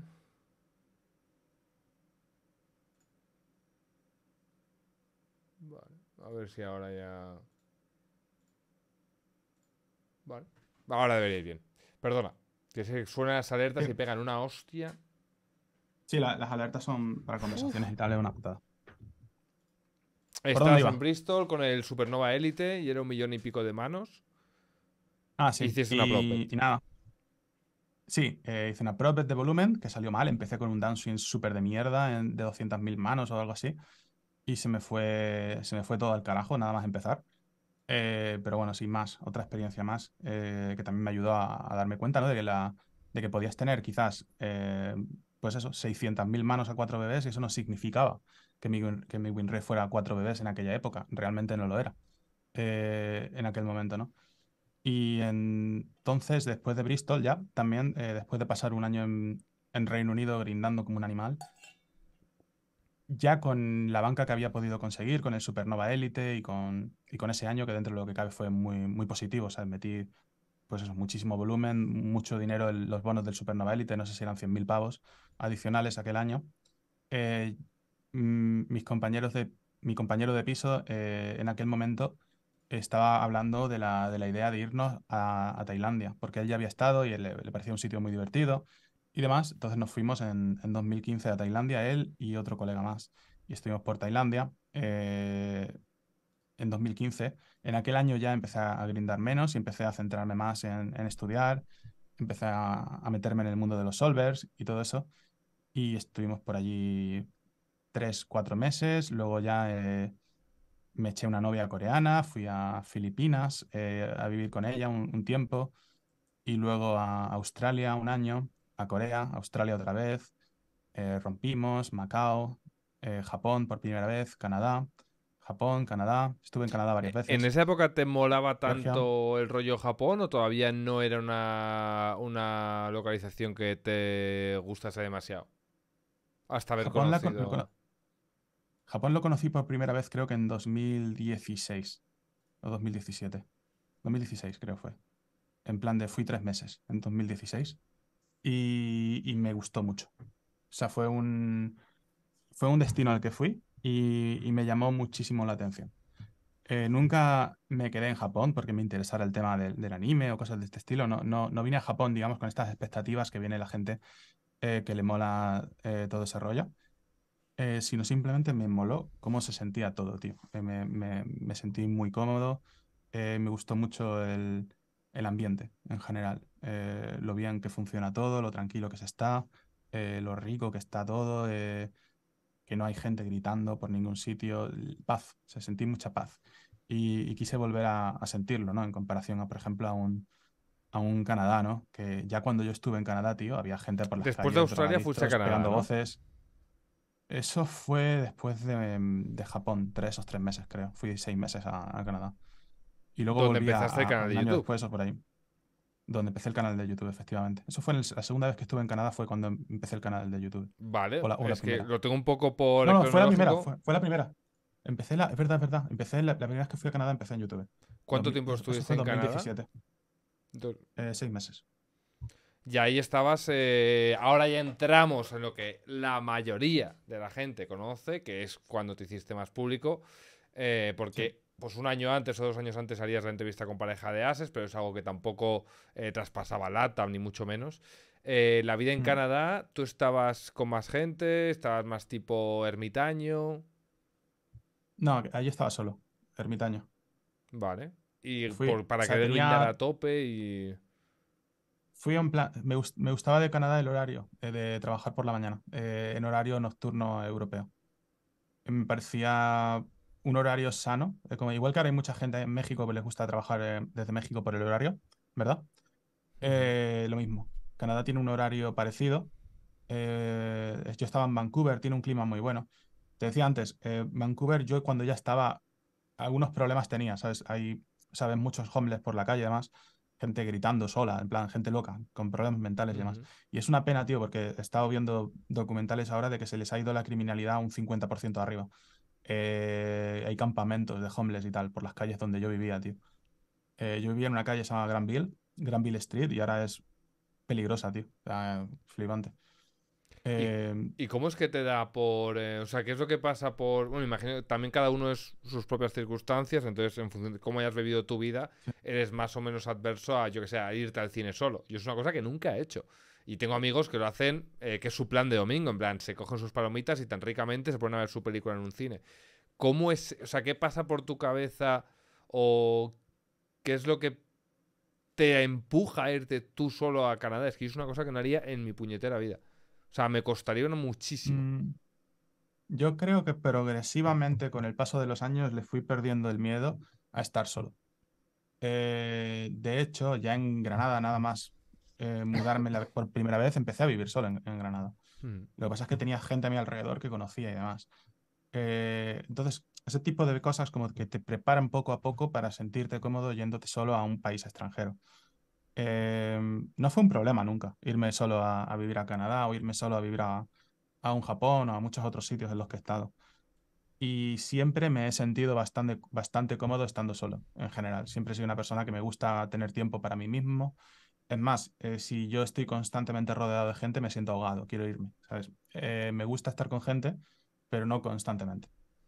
Entonces, eh, también yo tenía en aquella época muy metido en la cabeza el, el, tema de que me quiero dedicar al póker a tope y no quiero distracciones. Entonces, no me costaba justificar la idea de estar completamente solo porque sabía que si no tenía nada mejor que hacer, iba a estar eh, o estudiando o jugando eh, prácticamente todo el tiempo. ¿Y era para eh, ir indefinido con lo de Canadá?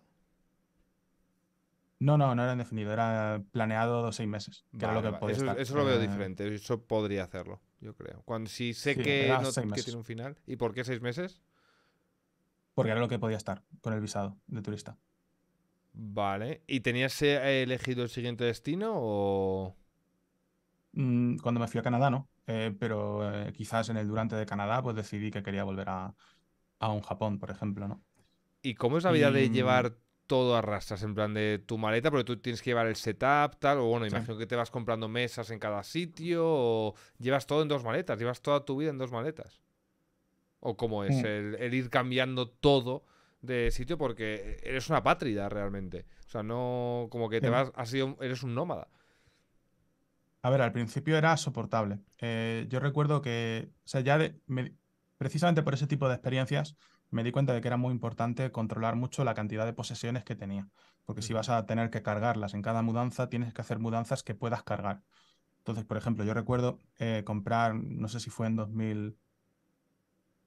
2015, 16, en 2016 compré el Mac Pro de Apple, que se le puede instalar Windows, el, que era el pequeño, el marrón, que lo tengo ahí de hecho dentro de un es. Que Apple antes tenía el bootcamp que podías meterlo de manera nativa, el Windows, que eso, molaba mucho. Entonces, el único ordenador pequeñito que existía, que fuera mínimamente potente, que tenía 64 GB de RAM, que le puse, eh, era ese. Entonces, yo con ese pequeño ordenador me daba para estudiar póker y para jugar razonablemente bien en la época, varias salas. Y, viajaba con ese ordenador siempre en la mochila. Eh, porque también la primera vez que fui a Tailandia me mandé un ordenador, o la primera vez que fui a Reino Unido, no me acuerdo en cuál viaje de los dos, y me llegó reventado. Eh, me reventaron un ordenador eh, de, caja, ¿sabes? Me lo me llegó roto completamente. Y de esa experiencia aprendí que enviar el ordenador no era seguro internacionalmente. Lo iban a tratar como la mierda y era probable que se rompiera. Por lo tanto, empecé a entender que era importante el tema de la portabilidad y de la seguridad de cargarlo yo en mi propia mochila.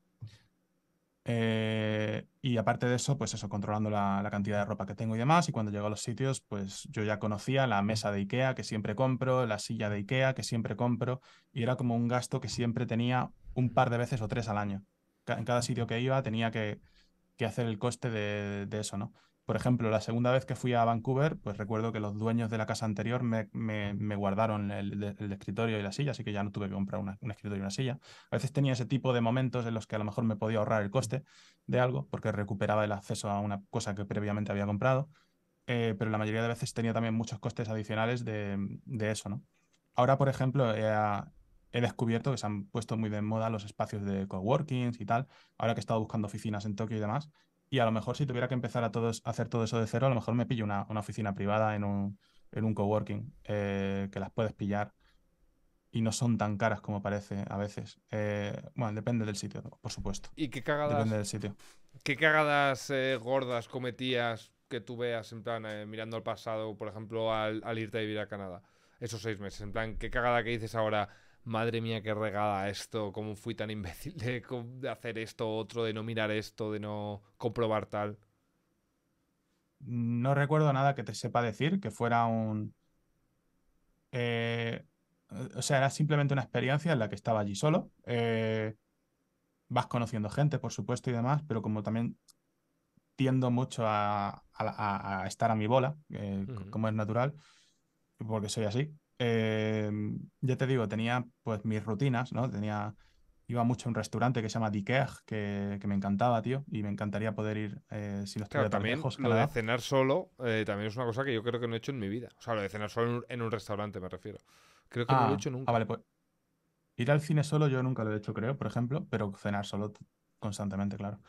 Eh, en plan de me pego una currada que flipas hoy y me voy a dar el premio de irme a comerme un steak con una patata asada, mayonesa, eh, trocitos de cebollino y bacon y a, disfrutar de la vida. Me, vamos, me, ponía, me pegaba unas cenas muy, muy ricas, la verdad, allí en, allí en, Canadá, comiendo carne, por ejemplo, eh, que se comía muy bien. Y también muchas veces en casa, por supuesto. Eh, cocinaba mucho en casa también, eh, pero, pero sí, eh, esta cosa de ir a cenar fuera y tal, 100%, porque era, porque cuando estaba solo y tal, era importante tener esos momentos, o desayunar fuera, por ejemplo, era importante tener esos momentos en los que veo la luz del sol y veo a la gente moverse a mi alrededor, porque me gusta vivir solo, pero no me gusta estar completamente solo. Por eso siempre me ha gustado vivir en ciudades, en, el, centro. Me gusta vivir en los centros de la ciudad. Es interesante eso. O sea, ¿no te gustaría, por ejemplo, vivir en el campo? No. En una urbanización tipo en el campo o así y tal, no. No va conmigo. Me gusta estar solo rodeado de gente. ¿Y en algún momento de estos en Canadá y demás has tenido el miedo de acabar muy solo? En plan de, mm, de, de, que todo el mundo vaya en sus pequeñas ciudades montando sus núcleos de familias, de amigos, de hijos de amigos, de yo que sé, que vayan cada uno formando sus vidas y tú quedarte como muy apartado de todo el resto. ¿Ha habido miedo a eso? ¿Era algo que te importaba, que no te importaba? Si es que ha pasado. Mm, mm, eso concretamente no. Eh, no tenía nada de eso en la cabeza. Eh, pero sí que es cierto que, por ejemplo, yo creo una buena parte de lo que me animó a hacer vídeos de YouTube al principio era el, aspecto de, social de, eso. Es decir, eh, me aportaba estando completamente solo empezar a subir algunos vídeos de YouTube y ver que la gente comentaba y demás, me acompañaba. eh, luego se convirtió en una distracción mucho más grande de lo que yo hubiera imaginado, eh, pero parte de los comienzos, parte del motivo de que empezara a hacer vídeos en YouTube era porque me acompañaba, 100% además. Y hay una cosa que está muy guay de la comunidad de póker, que seguramente también te sorprendería, es eh, el hecho de que tú subes algo y como el Twitter de... Hoy está muy calentito, pero el Twitter de póker eh, lo que mola es que es, un micromundo como alejado de todo el resto de Twitters, de todo el mundo. La gente ve Twitter como un sitio de gente random, de uno de política, uno de economía, un hater, uno de otro tal, uno de videojuegos, uno de no sé cuántos, un troll. Pero en el mundo del póker es como que tenemos una propia red social, como que es un foro eh, súper interactivo que se renueva constantemente. Y a la que creas algo de contenido, tienes a eh, yo que sé, alguien que tiene 60 seguidores en Twitter crea un blog sobre cómo ha pasado a jugar No Limit 50 o sube un vídeo YouTube de tal, oye, igual tiene 300 visitas. Que eso no pasa en cualquier lado. Que eso en el póker o te retuitea uno o tal. Es, es, muy fácil empezar, yo creo. Difícil que te vaya mal, bien, perdón, pero es fácil empezar, yo creo. Yo creo que tienes razón en eso. Eh, creo que es cierto que el póker, hay mucha gente que quiere sentirse acompañada eh, en el proceso de, llegar a algo, ¿no? si tú ves a una persona que está haciendo lo que tú quieres hacer, es probable que le quieras seguir, es probable que quieras saber cómo piensa, eh, todas estas cosas. O sea, tú sin ser nadie, subiste el vídeo y cuántas visitas tuvo el primer vídeo, ¿o no te acuerdas? 200. 200. algo así. Que no es tampoco eh, para YouTube, o sea, que parece que es una tontería, pero conseguir en un vídeo 200 visitas en un canal completamente nuevo, oye. Eh, es que te da el. Te, da una pequeña. O sea, es como una bola de nieve que se va haciendo cada vez más grande. Cuando tú empiezas teniendo cero, o sea, o uno o dos visitas de tus dos amigos, es muy complicado que, salvo que seas razonablemente bueno nada más empezar eh, comunicando o haciendo contenido, cosa la cual la mayoría no somos, que aprendemos sobre la marcha, ¿verdad? Hay, gente que yo he visto, tío, que han subido 10 vídeos y ya tienen 2 millones de seguidores. ¿Por qué? Porque el primer vídeo era un banger, el segundo era otro banger, el tercero otro banger, y cuando te das cuenta que han. Lord Draug, cuando... por ejemplo. Lord Draug es fantástico. Eh, se me viene a la mente otro en, habla inglesa, no me acuerdo de su nombre, pero, pero también bestial que hace documentales. O sea, hay gente que te sube una puta obra maestra eh, así de entrada y dices, este tío le sigo porque es que es increíble, ha subido dos vídeos y los dos son la polla, pues el tercero también será bueno. En cambio, si eres una persona que tiene un recorrido más, más pequeñito, o sea, más a escalones pequeños, pues vas más lento. O sea, tienes que ir mejorando poco a poco y vas construyéndote eh, tu, red social, digamos, eh, o tu canal, eh, muy poquito a muy poquito a poco y viendo a la gente cómo vas mejorando. Y el canal pegó un cambio muy gordo porque al principio era más tipo em, entradas de videoblog de comentando, compartiendo la pantalla o algo de eso, y hubo un vídeo como a partir de, no sé si sería el quinto o así, que ya te pusiste un poco más modo blog. Eh, ¿Fue porque no tenías los números que esperabas o porque viste eh, o te aburriste lo que estabas haciendo y no te gustaba mucho y dijiste me apetece hacer otra cosa saliendo por la calle y tal? En aquella época los números no eran algo que estuvieran en mi cabeza, 0%. Eh, a mí me motivaba mucho, por ejemplo, el contenido, cuando yo me inicié, el contenido que hacía Casey Neistat y también el contenido que hacía un, youtuber eh, que es John Olson, Olson, eh, que era, creo que era ex, esquiador profesional y tal. Y tenía mucha, mucha calidad de producción en los blogs que hacía, mucha cinemática y tal. Entonces, em, yo quería hacer las cosas que me gustaba ver eh, en Casey por ejemplo, ese tipo de, transiciones, estoy aquí, ahora estoy allá y te muestro cómo me hago un café, pero luego estoy yendo a no sé dónde, tal. Eh, empecé a usar eso un poco e intenté compartir más allá de lo que era yo como jugador de póker. porque en los primeros vídeos pues hablaba de temas de, bueno, yo soy jugador de póker, hago esto, me gusta esto de aquí, o, pienso esto del póker de esta manera al principio, cuando hice los primeros blogs de, de blogs de salir a la calle, cosas de este estilo, eh, fueron muy mal recibidos. Eh, vamos, había o sea, yo sentía que había muchísima cantidad de personas eh, que me decían que, dejara de hacer el ridículo, que yo no valía para, para eso, ¿no? Porque obviamente mis vídeos no eran gran cosa en aquella época, ¿no? Haciendo eso. o bien había gente que o, bien había conseguido a lo mejor una audiencia de 200, 300, 400 personas que veían los vídeos a menudo eh, y esperaban ver cosas que, que les aportaran. Querían aprender, querían dinero, tips, querían tal, ¿no? Lo típico. sí, querían cosas relacionadas con el póker que les aportaran valor. Y claro, yendo yo a, dar un paseo por la calle y mostrarles, vivo aquí, hago acá, o tal, tal, tal, no les interesaba, no les aportaba, entendían que no les aportaba valor. Y como el contenido no era gran cosa tampoco a nivel de, de, contenido, como sí, como, tal, porque no me lo curraba tampoco muchísimo, era en plan de muy improvisado todo, pero le ponía cariño, por supuesto. Eh, pues eso, eh, recuerdo una época en la que fue muy mal recibido eh, el cambio muy, muy mal recibido. Me decían, nunca vas a, llegar a nada haciendo este cambio, eh, solamente vales para el póker, no nos cuentes tu puta vida. Eh, hubo muchísimo. Eso pasa mucho en el póker, yo creo. Eso pasa, pasa bastante. La gente quiere realmente tips para hacer más dinero en las mesas. Porque para blogs o para otra cosa, dice, pues ya tengo a, este, este tipo, ¿sabes? Eh, yo lo noto un montón. Yo me pongo a hablar en Twitch, por ejemplo, de algo que de repente me interesa, de economía en un momento dado, y, tengo la mitad de la gente. Y realmente lo pienso y, te dicen. Sí, te dicen, ponte a jugar, ¿vas a jugar o no? Y digo yo, tío, estoy hablando de otra cosa, un poco de respeto. Sí, si tú hablas de un tema que no es de lo que esperan de que hables, te van a decir, cállate la puta boca, tú de lo que tienes que hablar es de póker. Hmm. O si yo, por ejemplo, hago un blog eh, de tenis, me van a decir, no me toques los huevos con el tenis, eh, yo te sigo porque me interesa ver otras cosas. Me interesa, he tenido gente que cuando he dejado de vivir en Tokio me, han escrito mensajes en plan de, eh, yo te seguía porque haces vídeos en Tokio, pero a mí todo lo que hagas a partir de ahora me importa una mierda, vete a la mierda. O sea, comentarios así, venga, ¿por qué me dices eso, tío? sí, hay, hay, como una especie como de te estoy haciendo un favor viéndote, ¿sabes? Y no se dan cuenta que el cliente son las empresas que se anuncian, no es el que ve los vídeos en YouTube. Eso es algo que la gente yo creo que no entiende en la situación laboral eh, tú eh, y la persona que está viendo ahora mismo esta charla y yo somos usuarios de una plataforma, pero el cliente y el proveedor del servicio es YouTube o es Twitch en este caso, eh, y el cliente son las empresas que se anuncian. O sea, el resto somos usuarios de una plataforma, de una red social. y se creen muchas veces que que tienen algún tipo de. Oye, que te estoy viendo. Y dices tú, hay que me cuentas, ¿sabes? Pues no, no me veas. Es que. Pero, y es verdad que hay, mucho de eso.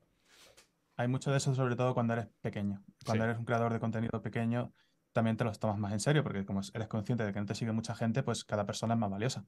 Hmm. Eh, claro, si tú le dices eso a un Rubius, te dirá el Rubius. Claro. Vete a la mierda. O sea, tengo a, a, 3 millones de personas más, no te necesito, ¿no? O sea, eh, ese tipo de comentarios son ridículos cuando se los dices a un youtuber grande, pero no lo son cuando se los dices a, una persona que tiene 400 visitas. Eh, ahí te lo tomas más en serio.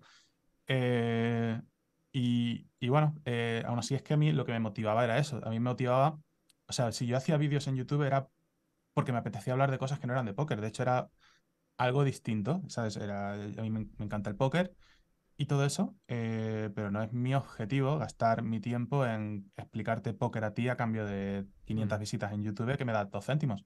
No, no me interesa. Eh, no era, o sea, yo quería realmente compartir cosas que me, que me, que me hiciera ilusión compartir, hacer vídeos que, hostia, voy a mostrarte un ramen que me encanta, tío, aquí en Tokio. Y me apetecía hacer un vídeo cutre mostrándote un ramen que me encanta aquí en Tokio, ¿no?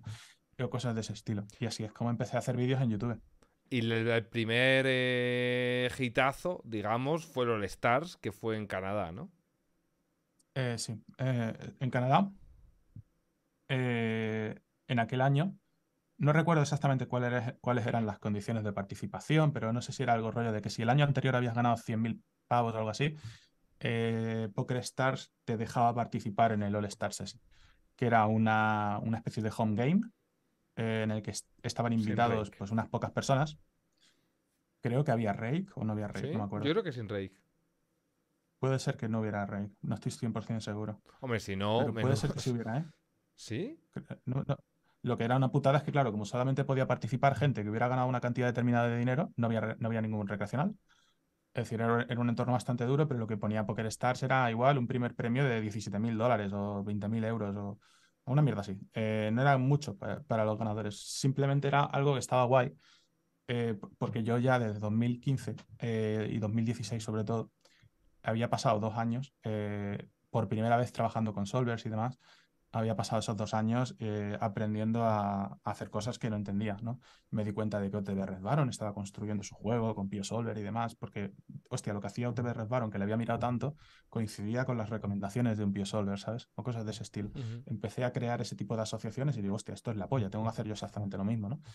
Y, fueron pues unos años en los que por primera vez, utilizando solvers y demás, en 2015, eh, empecé a, a poco a poco ir mejorando como jugador, empecé a o sea, yo era un jugador que en 2016, por ejemplo, eh, tuve muy, muy buenos resultados. Eh, los convertí todos en YouTube, además, creo que están por ahí.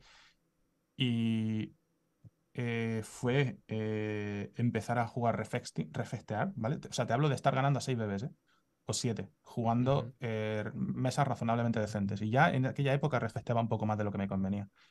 Empecé a refestear tres más y empezar a ser, pasar a ser un jugador de menos una, bebé, a break-even, hizo facto, en el momento exacto en el que hice ese cambio. Es decir, era un monstruo completamente diferente enfrentarte a Rex en mesas que no, que no había recreacionales en ellas. Y empezar a competir contra la gente que se atrevía a jugar esos entornos. Y pasé eh, aprendiendo a competir en esas mesas los siguientes dos o tres años de mi, de mi carrera prácticamente. Eh, tomé la decisión de no importarme jugar contra recreacionales y metí más de medio millón de manos solamente de refesteo desde 500 hasta 2000 y un pelín de 5000, pero muy poco. Cometiste. Y eso fue lo que. Sí. No, dime, dime. No, no, eso. ¿Cometiste muchos errores a la hora de empezar con los solvers? Porque yo el recuerdo que tengo de, de, yo cuando empecé solvers sería, no sé, 2016 o así. O sea, me acuerdo de cosas que hacía que digo, pedazo de retrasado, ¿sabes? En plan de, qué pérdida de tiempo de en vez de coger hacia dónde está girando el viento, quieres ver exactamente el cómo que está cogiendo tal e intentar eh, aprenderlo sin saber muy bien el por qué. Que eso es como el peligro que tienen, tenían, creo que ya hoy en día se utilizan eh, de puta madre, eh, los solvers en esa época, que es como te parecía que te daban la solución magnífica y a saber cómo estaban construidos los árboles en, ese, en, en esa época, porque al final un solver es un random al póker. Lo que pasa es que tú le das unos inputs y te da en base a esos inputs unos outputs. Pero como tú la cagues con los inputs y se te olvide poner el check raise, que en esa época no sería algo tan extraño, o pusieses que en el tour, por ejemplo, solo hubiese 60%, eh, pues entonces igual en el flop no va a utilizar el tercio porque quiere meter, quiere apalancar mucho antes, por ejemplo, pero no tiene la oportunidad de overbetear, por decir algo. Eh, y todo ese tipo de cosas es jodido de utilizar en eso concuerdo contigo. O sea, yo, por ejemplo, tuve una época en la que me hizo muchísimo daño usar Carrunner SV, que fue justo la época en la que bajé de 90 a 10.000 en 2013. Carrunner SV es un programa que odio.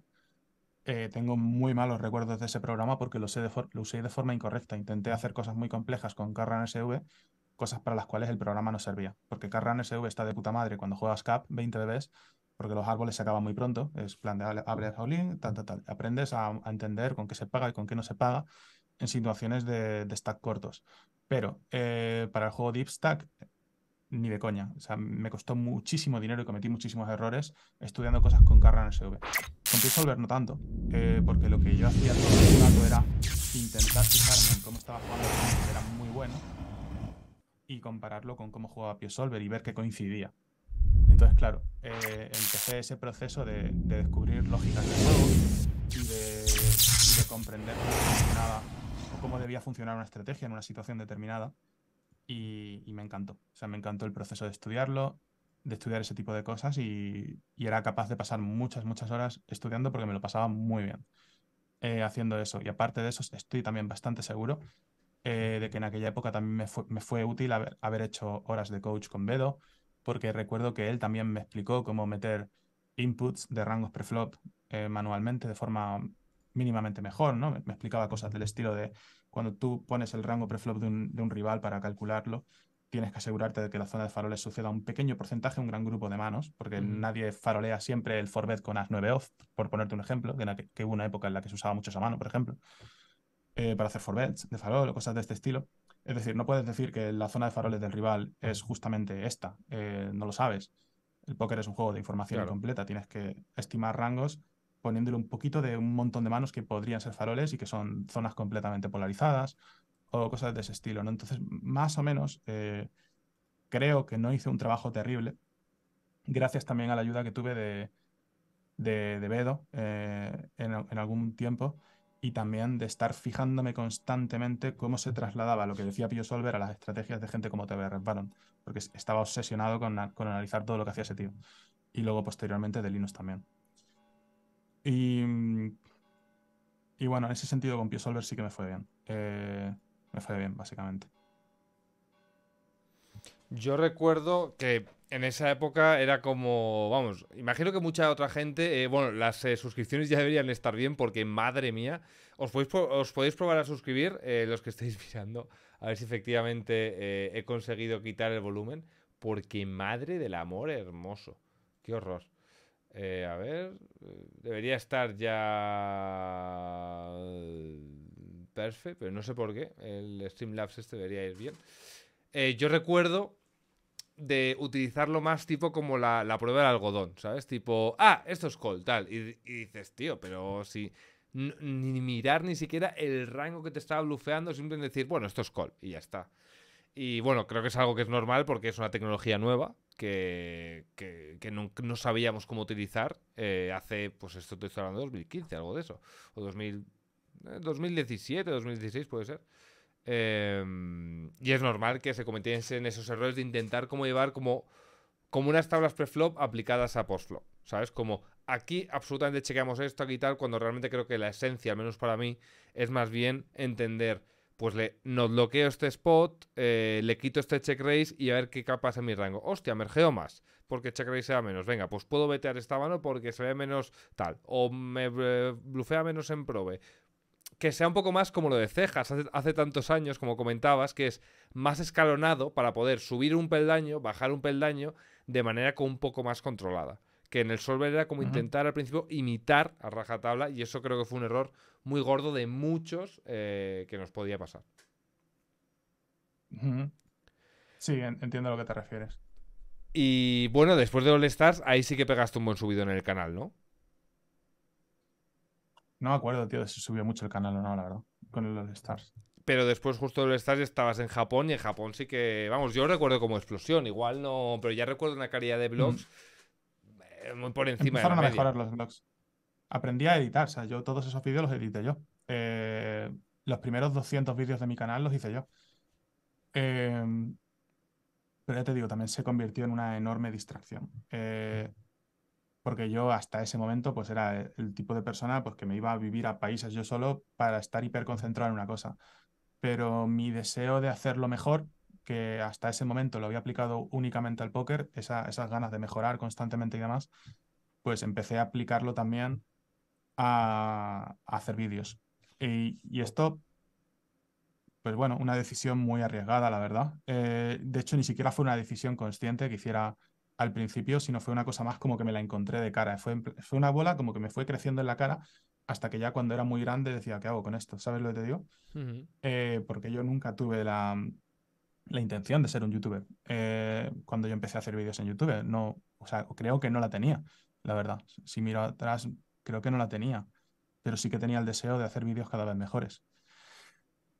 Entonces, bueno, eh, yo aprendí a editar mis propios vídeos, y, tal, cosa a la cual, pues bueno, si te quieres dedicar a, ser youtuber está de puta madre, pero si te quieres dedicar a, ser jugador de póker es una putada, ¿no? Porque yo a lo mejor jugaba una sesión en el pasado y cuando jugaba la sesión tenía todo el tiempo del mundo para estudiarla, para, para ver qué he hecho, a ver si he cometido errores aquí, allá, eh, pero empecé a pasar mucho, mucho tiempo eh, preocupándome de contar la historia y luego crear la historia y producir la historia y subir la historia y hacer a la gente disfrutar con eso. Y el feedback de esa historia. De que has perdido, de que has ganado, de que has hecho tal. Es muy heavy eso. Y tuve la suerte también de que en los primeros tiempos de mi blog y tal me fue razonablemente bien también. Además, tuve, diría que varianza positiva seguramente. Eh, para el nivel de concentración que tenía, que no era el mejor. Eh, es decir, todo eso ayudó también. ¿Dirías que una putada gorda que pasa en el póker muchas veces, creo, es cuando entra otra pasión. Es decir, que es como un amante, eh, que es como un... Eh, hostia, solo existía en mi pues vida el póker y de repente criptos, de repente eh, ser youtuber o streamer o tal. Y lo que le pasa a mucha gente que tienes sobre el póker, el póker y de repente dices, hostia, pues que a mí me flipa. Eh, yo qué sé. Eh, lo que acabo de decir, eh, me flipan las criptos y encima Sí. también gano dinero. Y te, te sientes raro porque dices, si yo era jugador de póker, no me tiene que Tengo solo gustar el juego de de- póker. Tengo un montonazo de sentimientos encontrados con este tema. Es decir, tengo un montón de, de pensamientos que ni siquiera aún he, conseguido ordenar al 100%. Eh, o sea, tengo un montonazo de cosas en la cabeza cuando me hablas de esto. Porque, por un lado, por ejemplo, yo ahora eh, siento un enorme deseo de ganar el tiempo que tenía antes de ser youtuber, por ejemplo. Eh, porque me sigue encantando el póker y me sigue encantando aprender y, tengo un gran deseo eh, por dedicar tiempo a ello. Eh, y al mismo tiempo tengo un gran deseo por seguir siendo lo que soy en YouTube también, por seguir haciendo buenos vídeos. Ayer estuvimos cuatro horas reunidos por Zoom, mis editores de los blogs y yo, porque decidimos mirarnos eh, todos los vídeos que hemos hecho en los últimos dos años. Y así a, a rápida vista, vamos, eh, mirando en qué puntos de los vídeos eh, la gente le ha gustado más y demás, viendo las, las gráficas, las, las stats de YouTube y demás, y analizando qué hemos empezado a hacer mejor. Por ejemplo, ahora en Bahamas, que he separado las explicaciones de manos de los vídeos, ahora explico menos manos y demás, y me centro más en, la, en transmitir la experiencia eh, de jugar. la- Cuento las manos, pero no las explico. Eh, o cuento cosas, pero no, no, las, no voy por explicarlas. eh, porque me he dado cuenta de, de- de que eso castiga eh, la retención de los vídeos o hace el canal más, más de nicho. Y, y- y a lo mejor pues cojo ese... Ahora también, por ejemplo, estoy grabando la narración de todas las manos y voy a subirlo como un contenido de estrategia diferente a- al otro canal. En plan de Ceros lo separo tal. Efectivamente. O sea, lo que has hecho subir- completamente, que ha sido como una escisión de decir, ceros blogs, vais a tener eh, más masa, por así decirlo, más blogs de viaje, va- vais a tener contenido que le pueda gustar a la pareja del jugador de póker que me está viendo, básicamente, por así decirlo, o cualquier persona que le interese en viajar incluso, eh, que aunque no tenga ni idea de póker pueda disfrutar de ese canal, y ceros blogs es el más dedicado o tema enseñar póker, o tema relacionado con la escuela, ese tipo de cosas de, ¿te gusta el póker? Mm, Vas a ver este. Pero en el otro es O sea, más como más abarcar más, ¿no? Ceros Poker es un canal en el que no me preocupo eh, de explicar cosas que no sean del interés del gran público. Eh, subo cosas Vale. que, que me... que- Pero también me preocupo quizás cuando editamos las sesiones de póker online y demás, estamos intentando aprender también a hacer ese contenido atractivo. eh, para que la gente pase un buen rato, como a mí me gusta, por ejemplo, verme a un Hikaru jugando al ajedrez mientras que me como el almuerzo, pues hay gente que le gusta verme a mí jugando un poco al póker, una sesión resumida de 20 minutos, eh, mientras que está en su trabajo y le apetece descansar, o a, o a gente que está aprendiendo póker o lo que sea. Es jodido porque intento- no hay líderes en eso a quien imitar, entre comillas. O sea, estás un poco, o sea, tampoco abriendo el camino porque hay mucha gente haciéndolo, pero la dirección de cómo hacerlo bien, yo creo que de momento no está, no, no se ha encontrado. De cómo retransmitir bien los streams de póker, por Estamos- ejemplo. Estamos tratando de aprender, mi equipo y yo, a hacerlo bien. Estamos en ese proceso de detectar las cosas que no funcionan y hacer cosas que sí funcionan. Pero dentro de todo eso, eh, Ceros Poker es un canal en el que me preocupa un poquito menos que en el canal de blogs eh, de lo demás. Y el canal de blogs, eh, quiero que sea un canal en el que va a haber póker, por supuesto, pero es la parte del póker que todo el mundo es capaz de, de comprender. No, no es la parte del póker eh, en la que tienes muchos trozos de los vídeos que no te interesan si no juegas al póker. Eh, y de esa manera, o sea, porque yo siento que en el punto ya al que había llegado, creando vídeos y demás, eh, cuando llegué, cuando llegué más o menos a la zona de los 190.000 suscriptores, noté que los vídeos que subía, si contenían explicaciones de manos, no hacían que el, canal creciera apenas nada. Y notaba una lucha entre dos audiencias, una que quería una cosa y otra que quería otra. No lo expresaban abiertamente, la gente apreciaba los trozos de los vídeos que les gustan, pero eh, por la forma que YouTube, si la retención de audiencia de tus vídeos no es la polla, eh, eh, no vas a ser recomendado a, nuevas personas. Te quedas un poco clavado.